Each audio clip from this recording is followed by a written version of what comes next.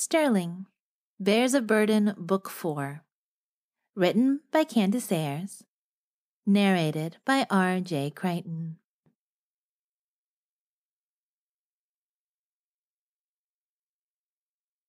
Chapter 1 Ophelia. Big and furry, I clumsily stumbled through the parking lot away from the back door of the cave with one foot stuck in a bucket. My bear grumbled and toppled sideways, landing in a pile of leaves. Leaves and twigs stuck to my fur. I tried to sit up, but the massiveness of my midsection fought against the action. Tumbling to the side, I rolled onto all fours and forced myself to stand up on my back legs. Just because I was a bear didn't mean I had to be undignified. Well, actually, I was beyond undignified at this point, really. I tossed one look back at the bar and shook my head. Yeah, I was way past displaying any semblance of dignity. I jerked my stupid stalker head away from the door where I'd been listening and tried to watch where I was going as I tripped over logs and sloshed through mud puddles. It's been raining for days and everything was soaked. I wasn't a fan of mud. As human woman and a bear shifter, I didn't like having to clean mud from all my cracks and crevices. I came to the swollen creek bed and roared. Oh, that was fun. I didn't want to get wet. Frustrated at myself for my own obsession, that had driven me to the bar in the first place, I kept my big head in my hands and rolled my neck back, gazing skyward. Why couldn't I just let him go? One way or another, I needed to get my big furry butt home, so I scanned the creek until I spotted a few rocks further down along the riverbank. If I could step from one to the other, I might be able to leap the last bit of distance onto land. That way, I could stay dry. I was a complete basket case. Certifiable. There was no other way to view it. Take today, for instance. I'd been minding my own business, heading home from work, what little work I had, when I caught his scent around the bar. I knew what he was doing inside there. I knew it, and the thoughts fueled my anger, which threw me into an uncontrolled shift and shredded my clothes in the process. Now, instead of being able to walk home along the sidewalks like a normal woman, I had to strategically cross a creek as a bumbling idiot of a bear, hoping I could maintain enough balance to keep myself from falling in and getting soaked. I held my arms out to the side and snorted out a rough breath. I stuck my foot out when I noticed the bucket still attached. That wouldn't do. I stuck my other foot out and stepped on the rock, gingerly putting my weight on it. I wanted to bellow a cheer. I wasn't going to get wet. Luck disagreed. My weight pushed the rock down into the mud, and the motion startled me. I lunged forward, trying to catch myself on the next rock, but the slipperiness of the slick, moss covered surface sent me sliding into the cold creek. Water swallowed my growl as I went under and was swept downstream in the swift moving current. I didn't even know if creek was the right word for the damned thing anymore. It was so swollen from all the rain that it was more like a river. I came up sputtering. My clawed furry mitt slapping at the water in frustration. I found my footing and stood up, looking around to make sure no one was watching my performance in the shit show. How had I sunk so low? I used to have it together. Now, here I was stalking men, stepping in buckets while stalking men, falling in rivers, wearing a bucket on my foot while stalking men, and trying to make it home as the clumsiest, most awkward bear in existence. Hell, until coming back to Burden, my most embarrassing moment had been interviewing a popular country singer while unknowingly sporting a milk mustache on my upper lip. Once upon a time, I had my shit together. I waded to the other side and dug my paws into the bank to try to heave my oversized ass out of the water. I ended up basically rolling in the mud. I stood up and kicked my leg out to shake the bucket loose. When it didn't budge, I roared loud enough to empty the nearby trees of any and all wildlife. I would have shifted back to my human self, but I didn't want to risk getting caught so far from home naked. Of course, that would only be slightly worse than roaming around the woods as a frickin' bear. I shook off as best I could and lumbered homeward. After a few steps, I stumbled and caught myself on a sapling, taking it down. I plopped on my butt next to the broken thing and snorted at it. I'd just killed a baby tree.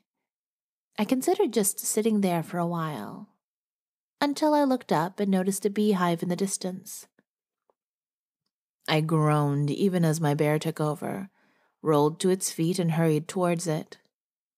As human Ophelia, I knew better than to mess with bees. Bear Ophelia didn't give a crap that human Ophelia knew better and was struggling for control. I tried to fight the urge that drove me towards the hive, I was allergic. Not terribly, but enough to swell up painfully and look like a total alien freak show. I've had very little practice controlling my bear, though, so she ignored me. One big paw swipe took the bottom of the hive right off. Honey leaked out, and along with it, swarms of bees. They attacked as I swatted and growled. Finally giving up the honey, I dropped to all fours and ran back to the creek as fast as my thunder thighs could move. I did a nosedive into the cool water and let it go to work soothing the sting. My bear grumbled angrily at being deprived of fresh honey as I muttered to myself about the curse of being a bear shifter. I climbed back out when the bees were gone and lumbered the rest of the way home. There was some clumsy stumbling and another fall into mud, but I finally made it, leaving a dripping trail of muddy water behind me. Kyle's truck wasn't in the driveway, so I shifted back to human right outside the back door and was finally able to shake the bucket off my foot before letting myself in. Kyle never locked his door. No one in Burden, Texas ever did. It was slightly unnerving to me after having lived in a big city for so long. I resisted the urge to inspect the perimeter to make sure no one had broken in. I was, after all, stark naked I slipped inside and tracked mud and leaves all the way up to my bedroom. It was the same bedroom I'd had as a girl, growing up in good old Burden. From birth to the fragile age of 17, my sanctuary had been framed by these four Pepto Bismol pink walls. I slammed the bedroom door behind me and headed to the adjoining bathroom. Climbing into the shower, I scrubbed myself until my skin was raw. Bee stings marred my olive complexion, and I could barely see out of my swollen eyelids by the time I turned the water off. I got out and dried off, avoiding the mirror. Throwing on underwear and slipping into a nightgown from my youth, I looked more like a granny than a 28 year old savvy and dependent woman. But I had no one to impress. Ever. Navigating the stairs carefully, I made my way to the kitchen and dug around in the medicine drawer until I found Benadryl. I popped three before retreating to the living room to watch an episode of My 600 Pound Life. I was asleep before the intro finished playing. Nightmares of my mate flirting it up with other women plagued me, and I woke up some time later as a 600 pound bear atop a severely damaged couch frame.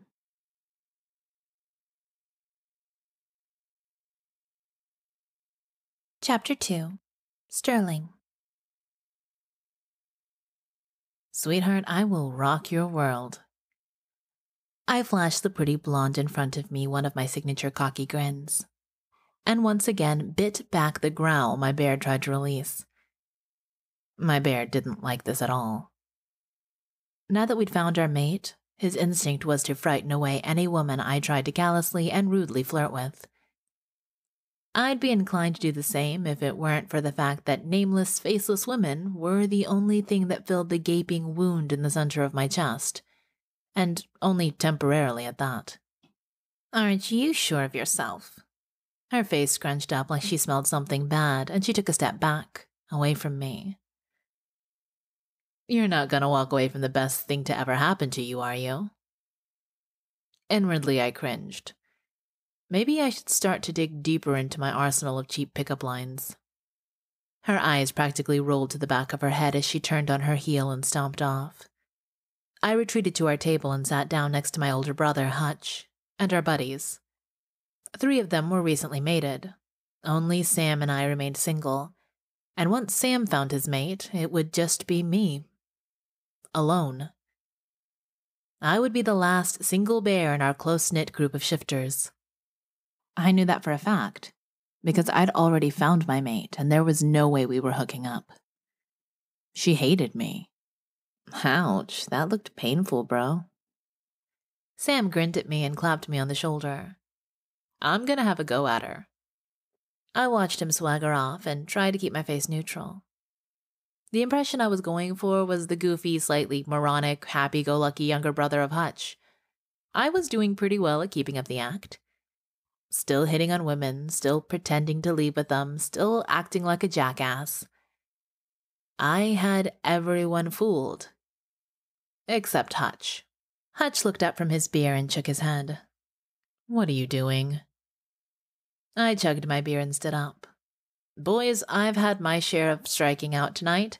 I think I'm going to take a dip in the creek and head home. Wyatt stood up. I'll join you. Maybe if I do, by the time I head home, Georgia will be home.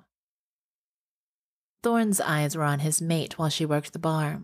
I think it's time Allie's shift ended.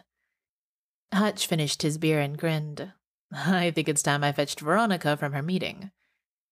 She should be done with her dirty book sharing by now, which means creative experimentation for me tonight. Wyatt laughed. Hell, I'll skip the swimming and just head over to the library with you. I forced a grin and fit my baseball cap on my head. Y'all have fun. Don't do anything I wouldn't do. Hutch caught my arm and raised his eyebrow. You okay? We still need to talk. I shrugged his hand off and felt the strain in my grin. I'm good, bro. I'll be at the shop in the morning. The car needs some tuning before the race tomorrow night. I slipped away and headed out to my truck. Backing out of the lot, I revved the engine before speeding off toward home. On the outskirts of town, my house sat near the top of a relatively small mountain overlooking the creek that ran through town. It was a dark, starless night, and all I could see were shadows as I stripped out of my clothes and left them in a pile on my back porch. No matter. I knew the land like the back of my hand. I shifted and ran down the hill, splashing into the cold water of the swollen creek. I dunked my head and came up with a big splash. My mind strayed, as it usually did, to Ophelia. Thinking of her seemed to cause her scent to materialize out of thin air. It flooded my senses until my bear growled for her, hungry for more than sweets for a change. I listened, but there was nothing but the sound of the creek running and the crickets singing. I was just haunted by her. I tried to distract myself by catching fish, but it didn't work. Having a mate and knowing she was nearby, but didn't want anything to do with me, left me with an empty ache that invaded every inch of me and affected every aspect of my life. It was the worst pain imaginable. A year ago, I couldn't wait to find a mate, certain the entire experience would be fantastic. Settling down, having someone to wake up to, maybe little cubbies running around. Boy, was I wrong. Turns out that for me, it meant one more person to disappoint. Huh. Not even to disappoint. I wasn't even being given the chance to disappoint. What I'd give to have her care enough to find me disappointing. Surrounded day in and day out by my closest friends as I watched them settling down, one by one, my heart ached as though pierced by the blade of a steel dagger. I hated the jealousy I felt whenever I saw how happy they were with their mates. They deserved their happily ever after, but damn, the jealousy ate me alive. The thought of spending the rest of my life harboring this ache was a very real and constant fear. I'd spent more than a few nights staring at the ceiling, consumed with anxiety driven insomnia as I dreamt of having the opportunity to shower Ophelia with compliments with kindness, with little surprise gifts, with love. I didn't even know how to begin. It was all so fucked up. I'd messed up so badly without even trying. My carefree, youthful, okay, slime ball ways had caught up with me big time. I didn't think of them as slimy until I started seeing myself through Ophelia's eyes. I still put on a show for the sake of hiding my pain. But the thought of bringing home a woman who wasn't Ophelia made my skin crawl. I wouldn't do it. I climbed out of the creek and flopped over onto the bank. I hadn't meant to make such a mess of things. I didn't even know I had a mate. Next thing I knew, I'd fucked up. The kicker was, at the time, I hadn't considered anything I was doing as being wrong. Sure, it was a dick move, but Kyle Barnes deserved it. He was truly an asshat. Fuck, I'd done the whole town a favor by hitting him below the belt. Sleeping with his fiancee, uh, ex fiance, a few days before their wedding was to have taken place, had completely blown up in my face. Kyle was the only family Ophelia had left. And the two of them were tight. Even though he was a giant dick stain, she loved him and I'd managed to humiliate him in front of all of Burden. Who knew his little sister was to be my mate? Before I'd even found out Ophelia was the one for me, I'd managed to not only alienate her, but also convince her that I was the lowest bear in the entire Lone Star State. Tossing a furry arm over my eyes, I groaned. Even as a bear, the sound was clearly pained. I needed her to be happy. I wanted her more than anything. I wished I could be the one to make her happy. But I fucked it up by being me.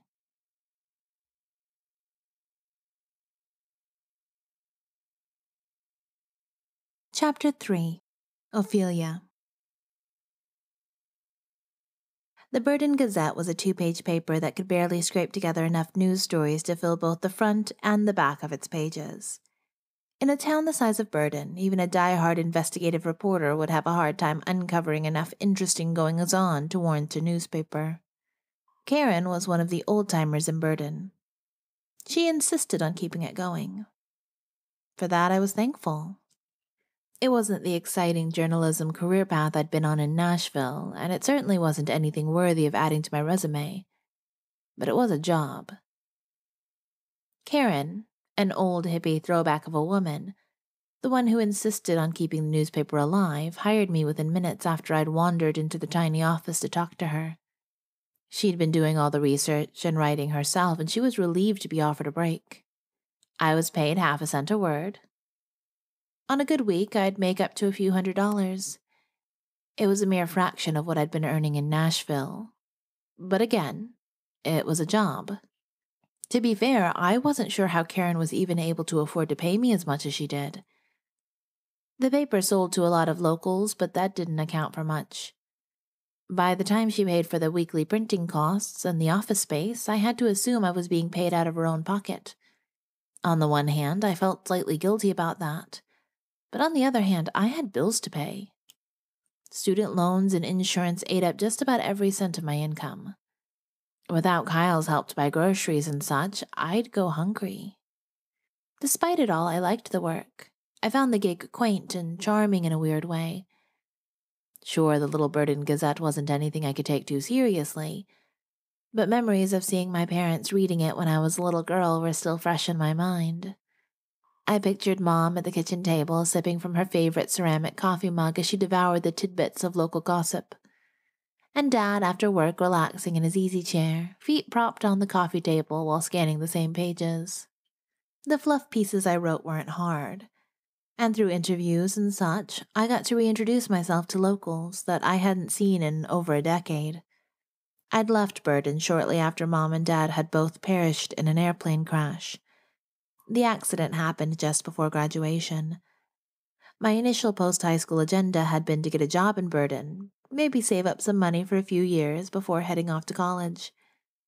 I had envisioned working during the day and spending my evenings curled up in the sunroom reading a book, while mom and dad played cards. The devastating accident had changed all that. After my parents passed, I couldn't get away from Burden fast enough. It seemed everything triggered a painful memory. I moved around for a while. and wherever I was, Kyle came to visit, so I never had to set foot back in my hometown. I hadn't planned on returning, ever. But as I'd learned at too young an age, the best laid plans. A bad experience with a groping boss left me unemployed. At the same time, I was fielding phone calls from Kyle, who was having his own struggles over a breakup. In the end, I was convinced that it was time to face any demons that may be lying in wait for me back home. I actually wanted to come home again, at least for a while. It was my turn to be a shoulder to lean on for my brother, like he'd been for me for so many years. As my only living family, Kyle had taken on the role of my everything. Anytime I was really hurting, he was there for me. I finally had a chance to return the favor. Except, once I'd arrived in Burden, I learned that Kyle wasn't the same man he appeared to be when I was watching from afar. He had erected some sort of false facade. Saying his name in town often elicited grimaces and snarls from people. Kyle acted like a pig. There'd been moments since I'd returned when I'd wondered which was the real Kyle the caring, kind hearted man who had been my rock, or the piggish, creepy Kyle? Which was the phony? Regardless, I figured I had to do my best to be there for him no matter what. The Burden Gazette was housed in the same small, narrow office it'd been in ever since I could remember. But it still held the same musty smell as I walked in. Karen was sitting at her desk at the back of the room, like always round wire frame glasses with pink tinted lenses perched on the end of her hook nose. Her face lit up when she saw me. Philly, I have a job for you. I forgot to mention it before you left yesterday. The races start tonight. You know, the old dirt tracks, right? My stomach turned over and threatened to toss the yogurt I'd eaten for breakfast. Yes? She wiggled in her desk chair, making it squeal. Well, I want to do a piece on Sterling Mallory. He's rumored to be the top contender again this season. I saw him driving that fancy ride of his through town this morning. I must say, it's a beaut. I gritted my teeth. I can't do it tonight. She frowned. We've got nothing else to put on the front page this week, Ophelia. Unless you want that piece you wrote about the rank odor permeating the halls of Burden High School on the front page. I could tell she was being a smartass. It's a fine story. Sure, I've got the perfect headline. Sanitation hiccup irritates teens. I can see it now. Great. Enthralling. Might even win you a Pulitzer. I rolled my eyes and released a long, slow sigh. Come on, Philly. This has been the slowest news week in Burden ever. I need the piece on Mallory. It's exciting. I've heard he's quite the ladies' man. Maybe you can spin some of it into the story. There was no way.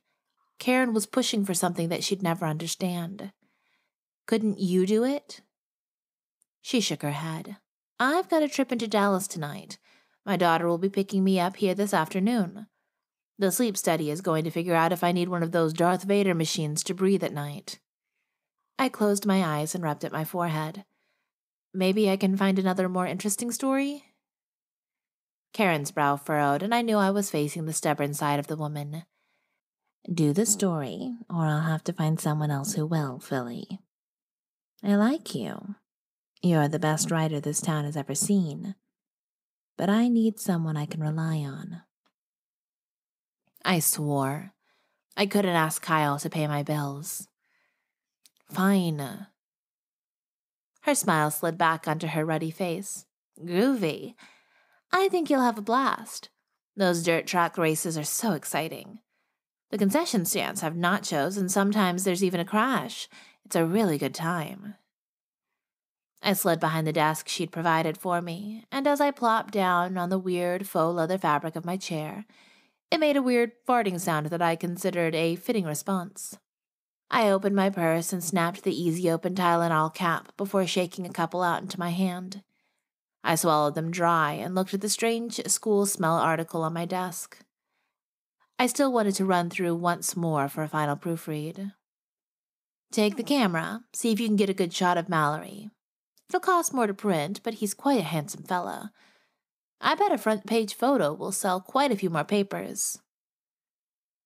I resisted the urge to slap my hand on my forehead. Barely.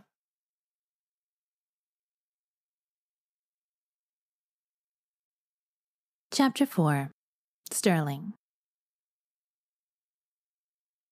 I dropped the hood of my car and zipped up the flame retardant suit all the drivers wore. The races were a surprisingly big deal around here. The track was 30 miles outside of Burden and attracted drivers and spectators from all over. The dirt track was as refined as it could be, and it was always a little rough on the cars. But I liked the edginess of it. Everything was a little more dangerous on a dirt track, and there was no telling what might happen. I'd been practicing all day, and I was ready to get on with it.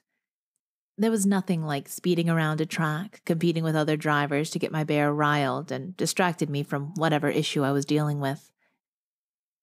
Bears weren't meant to go that fast, but mine liked it.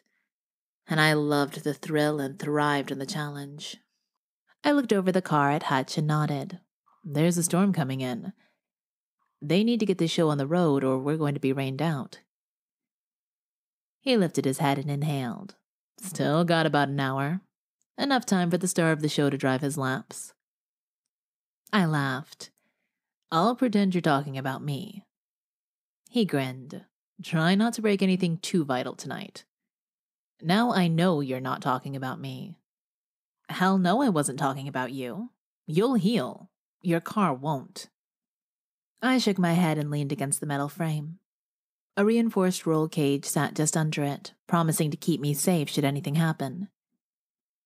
Being a shifter meant I'd heal from most things, but fires and explosions were an entirely different matter. I'm heading to the stands, little brother. Veronica is sitting with Georgia and Allie. No fucking tellin' what trouble those three can get into unattended for too long. I lifted a hand in a wave. Good luck. You too. I looked around at the other drivers and inhaled deeply. I didn't normally get nervous before a race, but something had my hair standing on end tonight. The weather promised a doozy of a storm, but I knew it was more than that. As a gust of wind swept over me, I immediately identified the source of my agitation. Under the pervading odor of motor oil and rubber, I could smell her. Ophelia. Her unique and delicious aroma, like whiskey and cupcakes, had my dick springing to life faster than I could reach down and hide it. I muttered a curse and followed the direction of the scent. There she stood, across the parking lot, her wild hair whipping across her face. What the fuck was she doing here? Her sun kissed hair threatened to swallow her whole, but she expertly yanked something off her wrist and pulled it back in seconds. Too bad. I was sad to see it tamed. There was something about the unruly mass that made my heart race and my dick throb. That woman was made for me. Everything about her was pure seduction to every part of me. As she lifted her head, her eyes locked onto mine. For a second, I let myself believe the parting of her lips was due to her hunger for me instead of shock at seeing me. Fuck, I wanted her. I hadn't seen her in a few weeks, and I'd missed the way the sun glinted off her olive skin and the world seemed to light up when she smiled. Ophelia never blended in. No, she was like the North Star, always the brightest in the sky. I wanted to run my hands over her, touching every part of her, but I shoved them in my pockets instead. I knew she loathed the thought of my touch. To my utter surprise, Ophelia began walking toward me. Her posture revealed she would rather be anywhere else in the world, and I could see her lips purse as she blew out her rough sigh. Still, she was coming over to me. I stayed where I was, but leaned against my car to keep from reaching for her. I kept my mouth shut too, afraid to fuck up any more than I already had. She stopped a few feet away from me and slowly lifted her eyes to mine. Her eyes. Pools of silver blue with a dark blue outer ring, threatened to melt me. Hi. I couldn't stifle a low growl at the sound of her smooth, velvety voice. I wanted to hear that voice as it lost control and cried out my name. Shit. I balled my hands into fists and closed my eyes. It didn't help. I could still smell her deliciousness and still see her behind my lids. My bear wanted to roll over and beg for forgiveness. Just expose our belly and throat and surrender. Anything to win her over. I, however, wasn't giving him that control. Yet. I shut him up and opened my eyes. She was watching me wide eyed. Hi, Ophelia. She crossed her arms under her chest, a move which forced her cleavage higher. The little sundress she wore teased me more than any lover ever had. I have a favor to ask. I tilted my head to the side and furrowed my brows. I couldn't imagine what kind of favor she would ask of me. Maybe she didn't know it, but I'd move heaven and earth for her, or die trying. The wheels in my head started turning. What is it? Her wide mouth thinned, and dimples appeared at the corners of her lips as she worked her jaw muscles. Her brows rose and then squeezed toward one another. I have to interview you. I mean, I'd like to interview you. The paper, well, Karen thinks an interview with you would be worth gold for the front page of the Gazette. I bit back a grin, knowing it wouldn't be well received. Karen wants you to interview me? She nodded and pushed a stray curl back. Yes. So, what do you say? I grinned fully then, unable to help myself. Her reaction nearly had me reaching out for her. Her mouth went soft and her tongue danced out to wet her lips. The scent of her arousal hit me like a blow to the gut. I couldn't stop the urge to tilt my head back and breathe it in, memorizing the heady deliciousness of her. Ophelia's cheeks burned bright red, and she took a step back. Stop that. I bit my lip and nodded. Sorry. Yeah, of course you can interview me. Not here, though. After. I'm about to race and I need to focus. She narrowed her eyes and her fingers started tapping out a rhythm on her arm. Where? She was at my mercy. We both knew it. I also knew Karen could be one pushy old broad when she wanted to be. It was wrong of me to take advantage of Ophelia's situation. But damn, I needed every inch of advantage I could get in this situation. I needed my mate. I'd been surviving with the assumption that I hadn't a snowball's chance in hell of winning her over. But now I realized that an attitude like that was defeatist. I'd never been a quitter, and I damn sure wasn't about to start now. Not before my interview. I stifled a laugh and stared down at my sexy little mate. Tricking her into spending time with me might be conniving and underhanded, but I had to leverage every opportunity. Besides, her arousal was encouraging.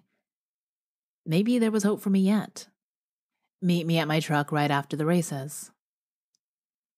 She frowned but nodded. Won't you need to devote time to all your adoring fans? I ignored the bitterness in her voice and slowly straightened from where I'd been leaning. I towered over her smaller frame, but she looked up, meeting my gaze. I'm more concerned about devoting time to my mate. Her eyes darted around to see if anyone had heard. Then her glaring gaze settled back on me. Don't call me that, she hissed. I turned and walked round the car to the other side. I needed space between us to keep control over myself and my bear. I'll see you soon, Ophelia.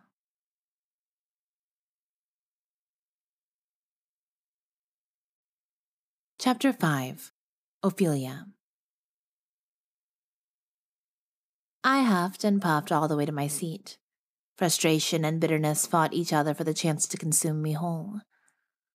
I was also sexually pent up. My body was on fire, and I couldn't erase the vision from my mind of Sterling. His head rolled back, a look of sheer ecstasy on his face as he scented my arousal in the air. It was on a reel playing over and over again in my head. The man wanted me.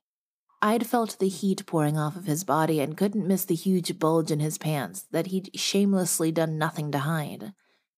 I wanted him too.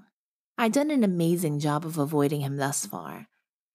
Weeks had passed since I'd last caught a glimpse of him. Not that he'd been trying to find me. He seemed perfectly content with the flooziest of floozies Burden and the surrounding areas had to offer. I was probably doing him a favor by avoiding him. I realized I was growling and looked around to find that several of the people sitting next to me were shooting concerned looks my way. I forced a smile and faced the track. He was making me crazy. I couldn't exactly help how my bear reacted. I'd never learned to control her properly.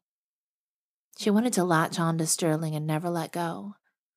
She wanted to roll around in his scent, bathe in it. I just wanted to run away. It was too confusing, this battle raging inside me. No one had ever really explained the shifter mating call to me. Mom was a bear and Dad was a human. As far as I knew, they'd just fallen in love and had two kids together.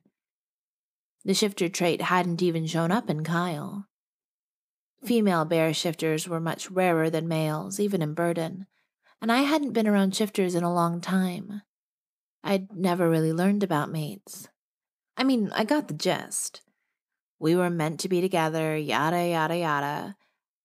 Obviously, our fated mating didn't account for one of us being a horn dog who slept with everything in a skirt. I was better off not being with the man I was supposedly fated to be with. Clearly, mistakes had been made. What I couldn't deal with, however, was the incessant pull I felt toward him. Just seeing him turned my panties into a puddle and my body into a volcano begging to erupt. It was hard to frickin' ignore that. I felt like I'd combust if he so much as touched me. I wasn't prepared for dealing with that. I didn't know if it was possible to ignore the mate call indefinitely. If I managed to keep pushing him away, would I just go insane and wither away in a pair of damp panties? Maybe. The alternative seemed worse, though.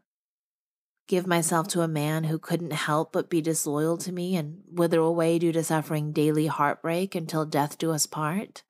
I took a deep breath and sat up straighter. I'd find a way to do some research.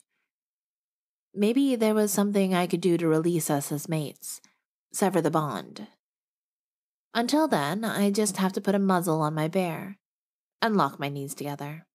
The race has started, and I was surprised to find myself leaning forward in my seat to get a better view.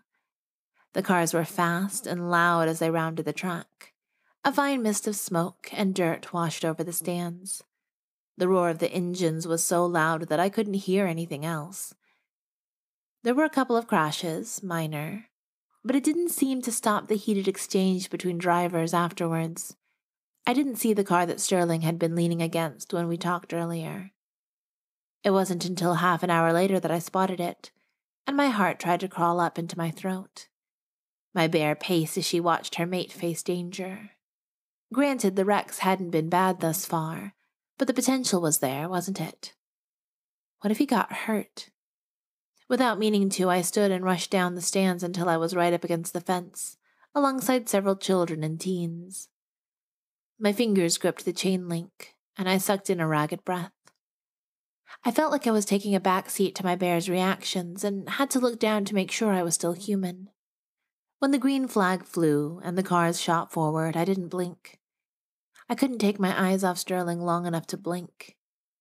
He quickly maneuvered his car from the middle of the group to the front. As he raced around the track, dirt flying, I felt as though my lungs would explode. I couldn't breathe as another car clipped the side of Sterling's during the turn, and the back of his car fishtailed for a second before he regained control of it. He didn't slow down in the slightest, despite the lack of air in my lungs. Didn't he know that my bear's overwhelming fear for her mate was threatening to kill me? By the time the checkered flag flew, there were dots in front of my eyes, and I was holding on to the fence to keep myself upright.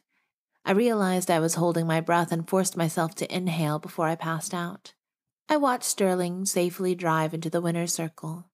He slid his large frame out of his car and pumped his fist in the air as someone ran over to him waving a checkered flag. Sterling's eyes shot to me and held. His look was pure feral bear as he emitted a low growl. The sound reached my ears even from across the track, and I felt a fresh wave of arousal weaken me. On trembling knees, I turned and stumbled hurriedly to the parking lot, needing some time to just get myself together. I had no idea what had just happened. Just as I reached my beat up Toyota in the parking lot, a fat raindrop hit my face. I lifted my head and noticed the darkening sky for the first time. The wind picked up, and I groaned as the clouds opened their floodgates, releasing a huge Texas downpour. I grabbed the door handle and yanked. Nothing. Shielding my eyes, I peered inside the car. Sure enough, there were my keys on the passenger seat where I'd left them. I ran around the car, trying each handle just to be sure. I was sure. I was locked out. I'd been so stressed about the interview when I'd pulled into the lot, it stood to reason I'd done something so mindless, but that didn't make me feel any better about it. I plopped myself on the hood of my car, shrugging as it flexed under my weight. I was already soaked from the hard rain. There was no use trying to find shelter now. I was stuck sitting there until I could find help. Kyle didn't even know where I was. He hadn't been home when I'd stopped in to change. My phone had been dead, so I'd left it on the charger. I crossed my arms and closed my eyes. I guessed that if worse came to worse, I could shift and walk home. But I was not much faster as a bear than I was as a human. I was a hell of a lot clumsier, too. Quite the hood ornament you make, Ophelia. Sterling's deep voice teased my senses a second before his masculine scent washed over me. I looked up, meeting his gaze, and sighed. He looked breathtaking. Rain dampened hair slicked back, thick eyebrows, his blue green eyes dancing with enthusiasm. Of course, the man would look edible in the rain. Come on, let's get you somewhere dry. I slid off the hood and shook my head as the dent my ass had left didn't pop back. I glared at it and then looked up at Sterling. He grinned and shrugged. Tucking my wet hair out of my face, I gestured for him to lead the way. I needed the interview, no matter how awkwardly soaking wet I was. He walked me through the emptying parking lot to his truck. A big trailer was hooked up to the back, and I realized he'd need to get his car loaded up. I was keeping him from it. Do you need to finish up here? He nodded while unlocking the passenger door of his truck. He opened it, and before I knew what he was doing, wrapped his hands around my waist and lifted me into the seat. Hutch is going to help me load the car. I'll be back in just a bit. You stay here. My skin burned where his hands had been. The feel of his touch lingered on my body, and I sucked in a breath at how close he still was and bit my lip. I felt myself slipping, and I knew it was bad, but I didn't know how to stop it. I was putty when it came to Sterling, and I'd had a really bad couple of days. Weeks, really. Maybe I didn't have to commit forever. Maybe I could just steal one night.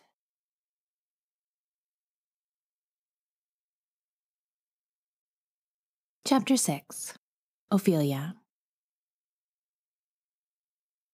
Crazy thoughts raced through my head. Crazy. I'd been adamant about staying away from Sterling, who was now driving his race car across the parking lot toward me. I'd been adamant that complete avoidance was the way to go. I was terrified that if I got too close to him physically, I'd get emotionally attached to a man who was clearly a womanizer. That fear was still very much alive, but so was my throbbing neediness in the girly parts department. The need to be touched by him was overpowering my fear. My bear was screaming for him, and damned if my body didn't agree. The hussy. Wasn't it crazy to keep fighting the desires that were plaguing me? They were only getting stronger. Wouldn't it be better to give in and get him out of my system? It was a cheap excuse, but I couldn't stop thinking about how nice it would be to be the object of Sterling's attentions for more than the few minutes it normally took before I ran away from him. I felt exhausted from the roller coaster of emotions I'd been on. Was it so bad to reward myself with something good? Something to make me feel good? Crap. There had been a very good reason that I hadn't wanted to come tonight. I'd never been good at resisting temptation. That's why my ass wasn't smaller. But as strong as my craving for sweets was, my craving for Sterling Mallory was that times 10. I knew better, yet I couldn't help but throw caution to the wind. Sterling had hurt Kyle in a dick move. He could potentially hurt me if I let him. I didn't have to let him, though. I could make this night all about me. I could, and I would. Tonight, I would indulge myself. Just tonight. I rubbed my hands down my wet thighs and blew out a rough breath when I realized I'd already made up my mind. I was going to sleep with Sterling. Tonight. No matter how bad an idea the little angel on my shoulder tried to convince me it was. No matter how bad a sister it made me. I pushed Kyle out of my mind and turned in my seat to watch Sterling load the car onto the trailer. It was insane. God, so insane. I was going to do it, though. I rummaged around in my purse for mints and popped two in my mouth, before discreetly sniffing my pits to make sure I smelled fresh. All I smelled was rain, so good to go. I'd thrown on an older sundress before coming, and it was cute enough. I tugged it up a little on my thighs and said a prayer of thanks for the laser hair removal I'd had done in Nashville. I tugged my hair out of its ponytail and tried to rake my fingers through it so it would look sexy instead of like a frizzy, wet mop. I had to work without a mirror. I wasn't going to chance Sterling seeing me check myself out while waiting for him. I probably wasn't my prettiest, but he probably didn't care. He didn't seem to have a type, so I'd probably do. I forced myself to be still and wait while he finished up with the car. He was dripping wet and grinning like a school kid when he climbed in. Sorry for making you wait. He whipped his hair back and started the truck. Dang, I should have started some heat for you. You're probably cold.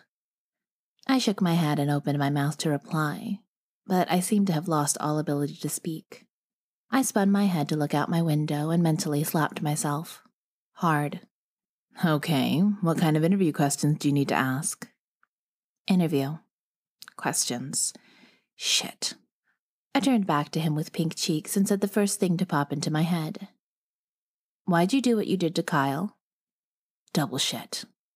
Not what I'd meant to ask. Not what I'd wanted to bring up at all on the night I just vowed to forget about Kyle so I could selfishly indulge in some raunchy sex. Sterling coughed and adjusted the vents. Karen wanted a really personal interview, huh? I groaned. No, I was supposed to interview you about the race and winning, Forget it. He turned to me and just stared for a few seconds longer than I was comfortable with. I pushed my dress down and crossed my legs. I was an idiot, both with my diarrhea of the mouth and with my stupid decision to sleep with him. No, it's okay. We didn't really talk much the last time we were together, did we? My face heated, and I thought about getting out and walking home.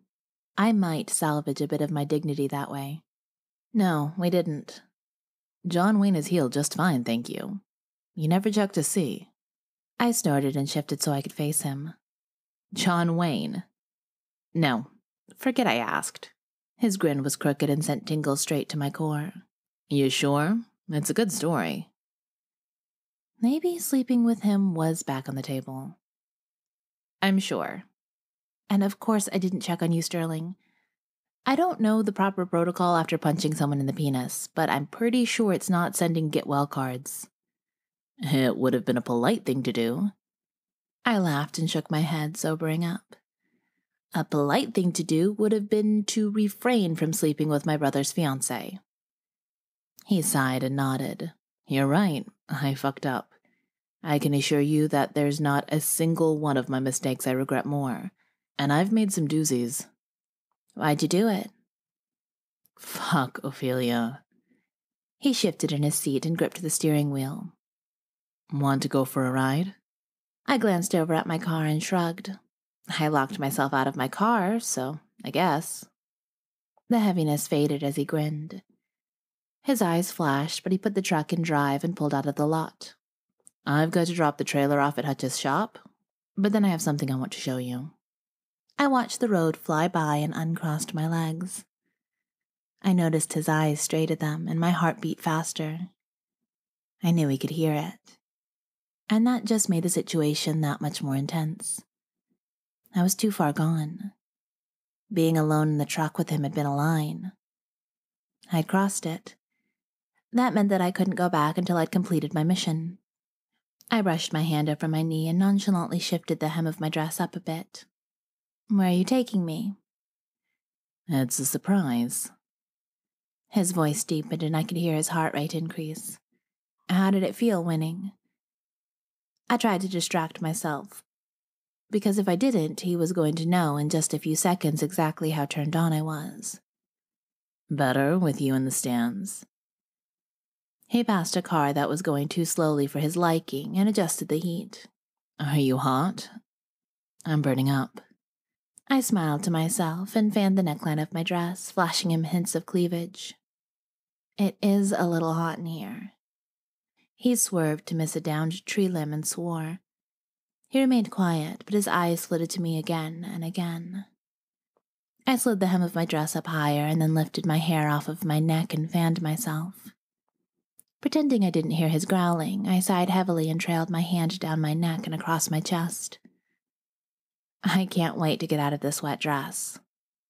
Sterling blew out of breath and jerked the steering wheel to swing the truck into Hutch's parking lot. He scrubbed his hand down his face and looked over at me. I'll be right back. I just smiled. I liked seeing him so unnerved and knowing it was because of me. I felt empowered, and I knew I was making the right decision. Just for tonight.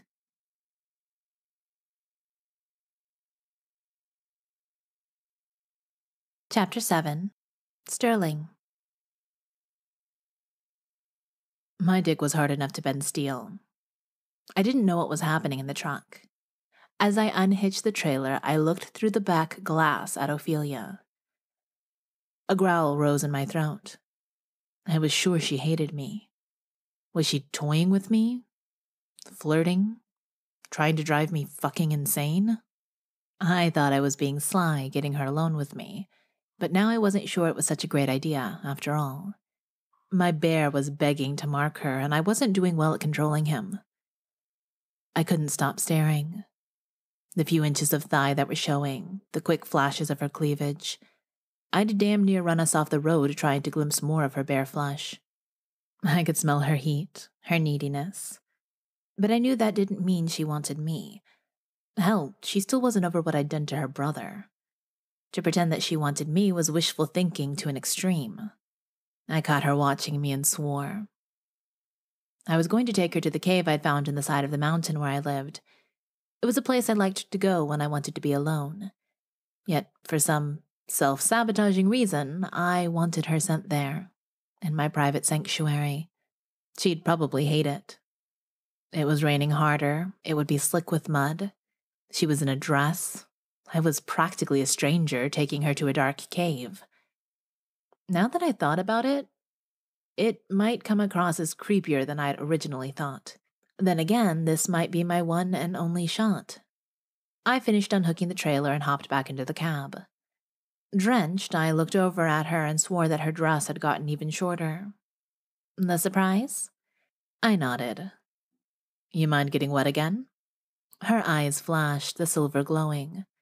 Again, as though I haven't stayed dripping wet this whole time.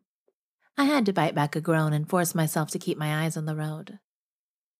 The whole night was a gift, but hearing things that could be construed as naughty come out of her mouth was enough to supply my spank bank for months.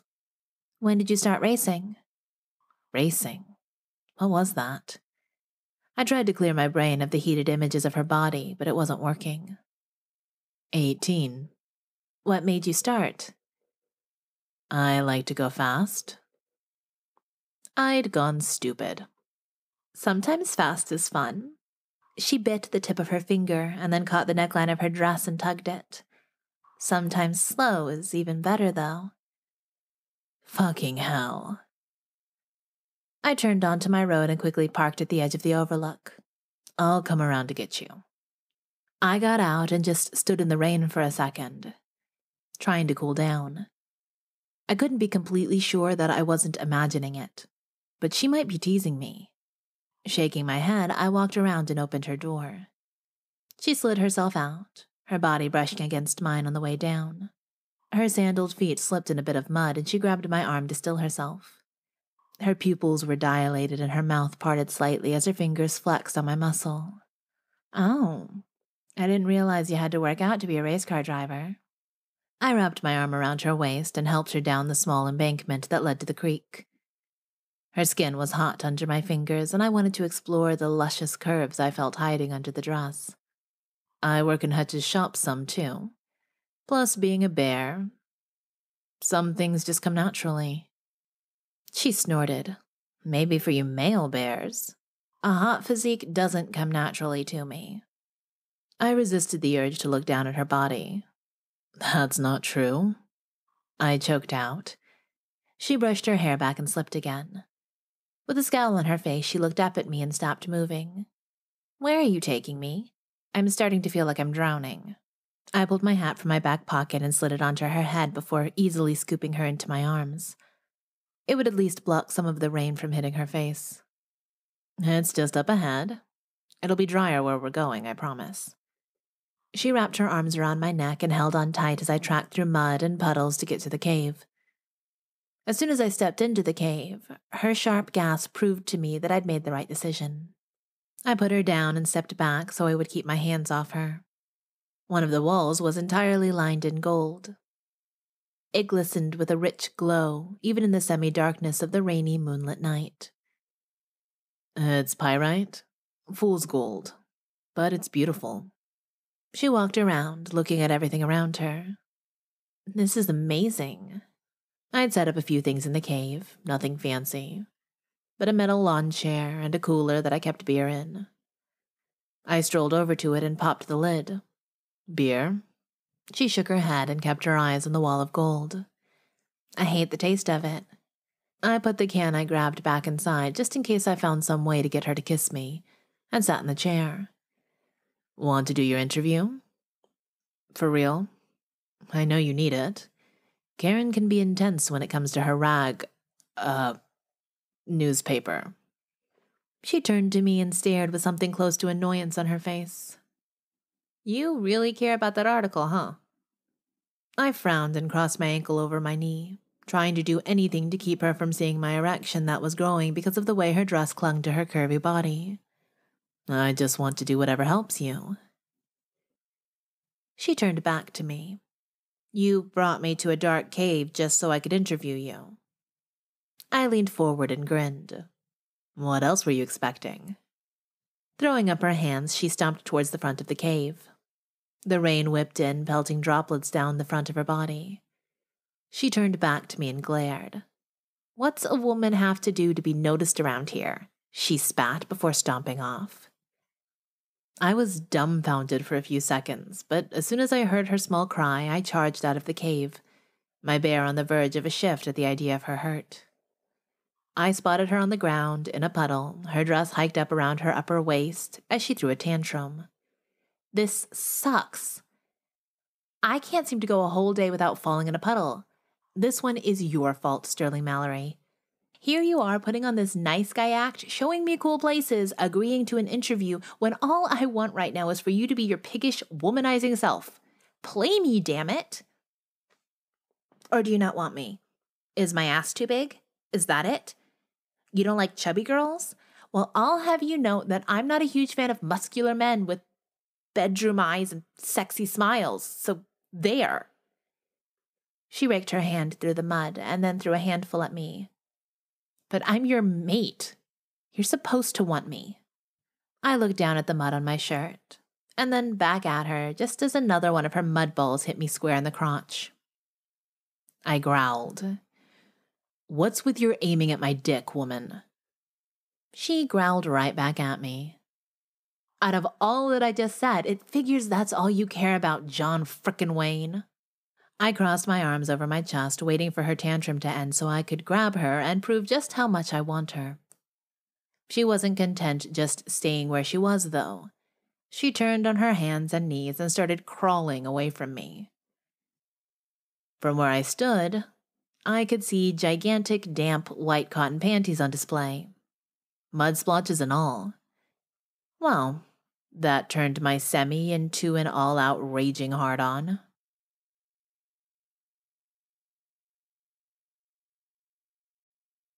Chapter 8 Ophelia Mortified, I was getting the hell out of there as soon as I could crawl far enough to get to a spot where I could regain my footing and stand up.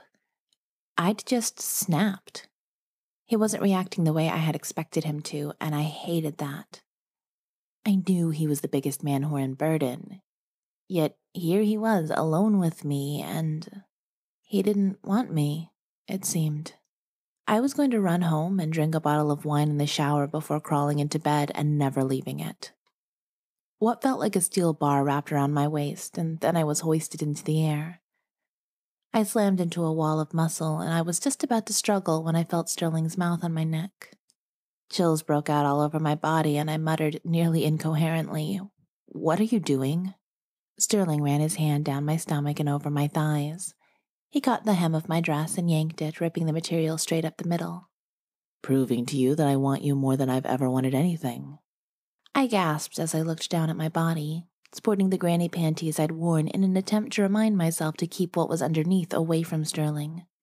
I'd forgotten about that. The matching white bra was just as embarrassing, and they were both stained dirty from the mud and rain. My bear was urging me to get on with it. She wanted me to turn around and jump Sterling's bones. Bone. I was a little more reserved, though. While I wanted it, seeing my giant underwear on display like that was mortifying. I'd just gone from sex kitten to frumpy dump in seconds flat. I pulled away from him and held the sides of my torn dress closed. I changed my mind. Let's do this some other time. Rain check? His eyes burned bright through the rain. Is it the underwear? Angry that I had just flashed him the awful panties, I put my hands on my hips and glared. What's wrong with my underwear, Sterling? He grinned, slow and steady.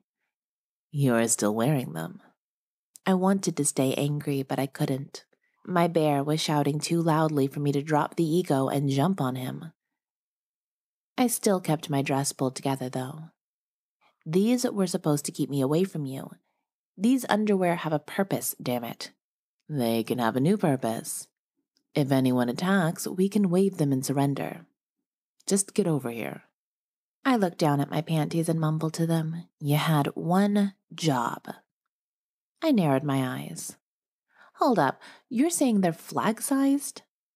Jesus, woman, I don't know what size they are. You won't let me see 'em long enough. You want to fight, or you want to come over here and get some lovin'? Because I got a whole lot for you. I thought about it. I kind of wanted to do both. I was feeling feisty. Sterling shook his head and came at me. He wrapped his arms around me and yanked me into his chest. Before I could argue, he slammed his mouth against mine. For a first kiss, it was rough and demanding. There was nothing sweet and tender about it, but it was perfect for us. His hands tangled in my hair, tugging as he tilted my head back to deepen the kiss. I wrapped my arms around his waist, feeling the muscles in his back work as he walked us backward. His tongue stroked over my lips, and I opened for him, tasting the rain and something that was purely sterling. A moan escaped, and he swallowed it while exploring my mouth. As my back hit something hard, his hand stroked from my neck down to my hips.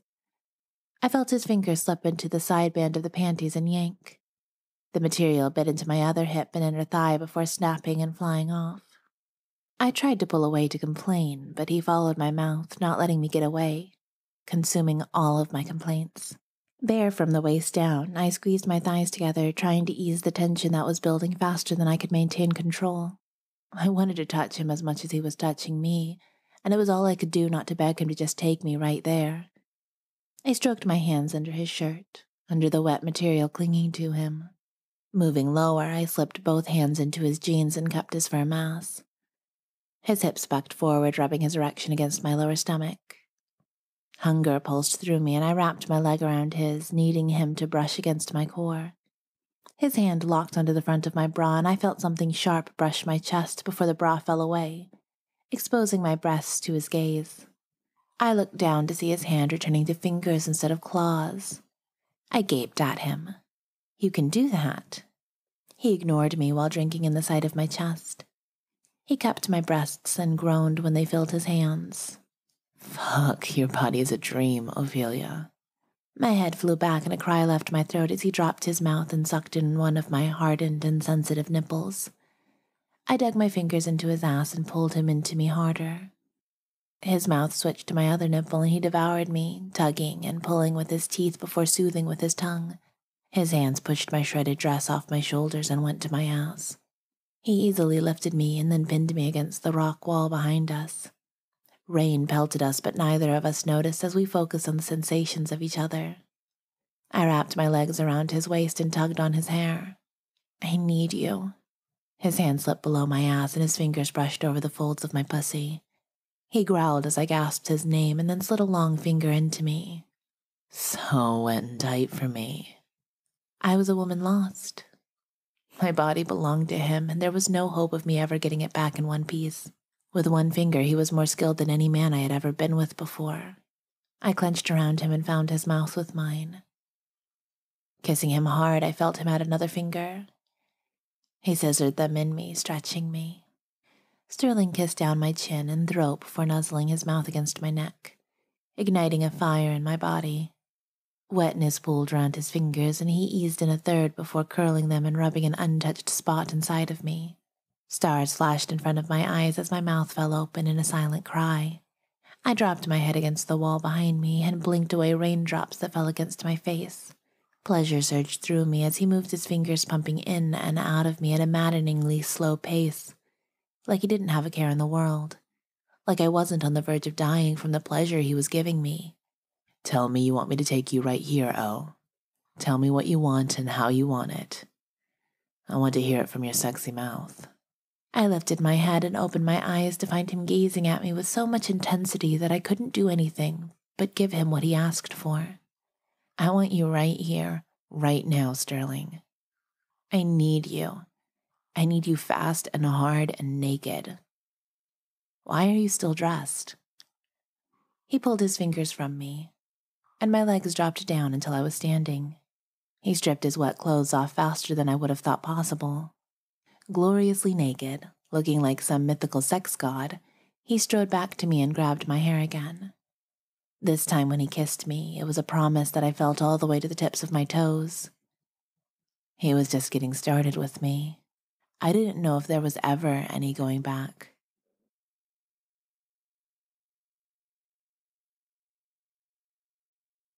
Chapter 9 Sterling Seeing her standing in front of me, naked, here at my cave, hit me like a ton of bricks. Mine. Ophelia was mine. Why hadn't I been trying harder to make her see that?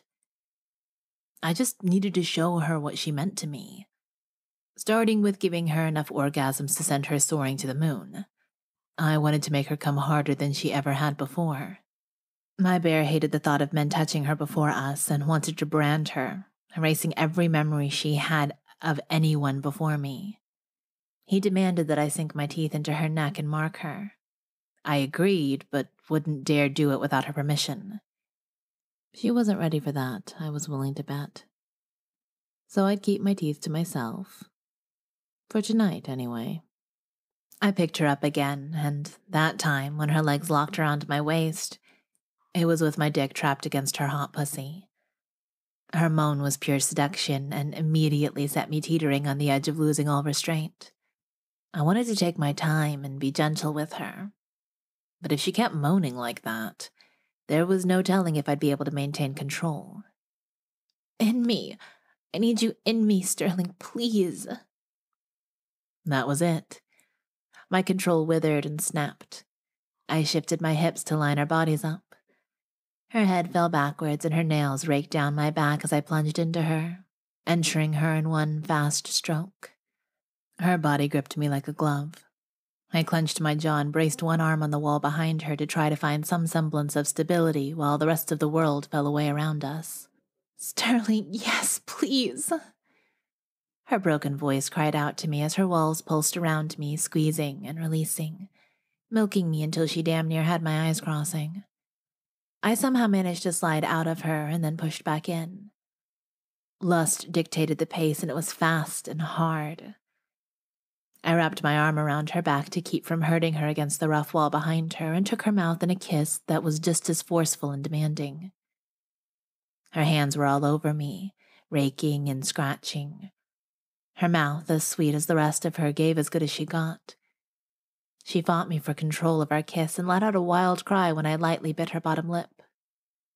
Too good. I buried my face against her neck and growled as her scent beckoned me. I wanted to claim her and mark her as my own. I needed it. Taking her flesh between my teeth, I bit. Not hard enough to mark her, but enough to let her know what I wanted. Like a switch, she exposed the entire length of her smooth neck to me. Raking my teeth along it, I stopped at the spot my bear chose and sucked hard on it. Ophelia screamed my name, and her body clamped down on my dick as her orgasm hit her. She practically vibrated against me, her wetness flowed out of her. I was gone. There was no way I could watch my woman come and not follow her right over the edge. I growled and let out a roar as I slammed home in her once more before spilling every drop of my seed into her. My knees shook. I tightened my hold on her and carried her into the cave. Both of us, naked and wet, panted, gasping for air as I sat down in the chair with her, still impaled on me. My dick was somehow still hard, and I felt like the life was being sucked out of me every time her walls pulsed around me. She was a fucking goddess, this woman. She was everything. I leaned back in the chair and pulled her with me until her head rested on my chest. Her hands came up to rest there too, her fingers lightly running over the dusting of chest hair. Was that the mate bond? She didn't lift her head, and I got the feeling that she felt silly asking. I pressed a kiss to the top of her head and grunted. Never had a mate before, but that was the most amazing thing I've ever felt, and I give you full credit for it. She let out a soft giggle that made my dick jerk. Calm down, big guy. Like that'll ever be possible with you anywhere near. She sat up, crossing her arm over her chest to hide her bareness. This is dangerous. I caught her arm and moved it, taking in the rounded breasts and pink nipples. I moved one arm from behind her to cup her breast and flick my thumb over her nipple. My mouth watered, and I leaned forward to flick my tongue over the tip of the other one.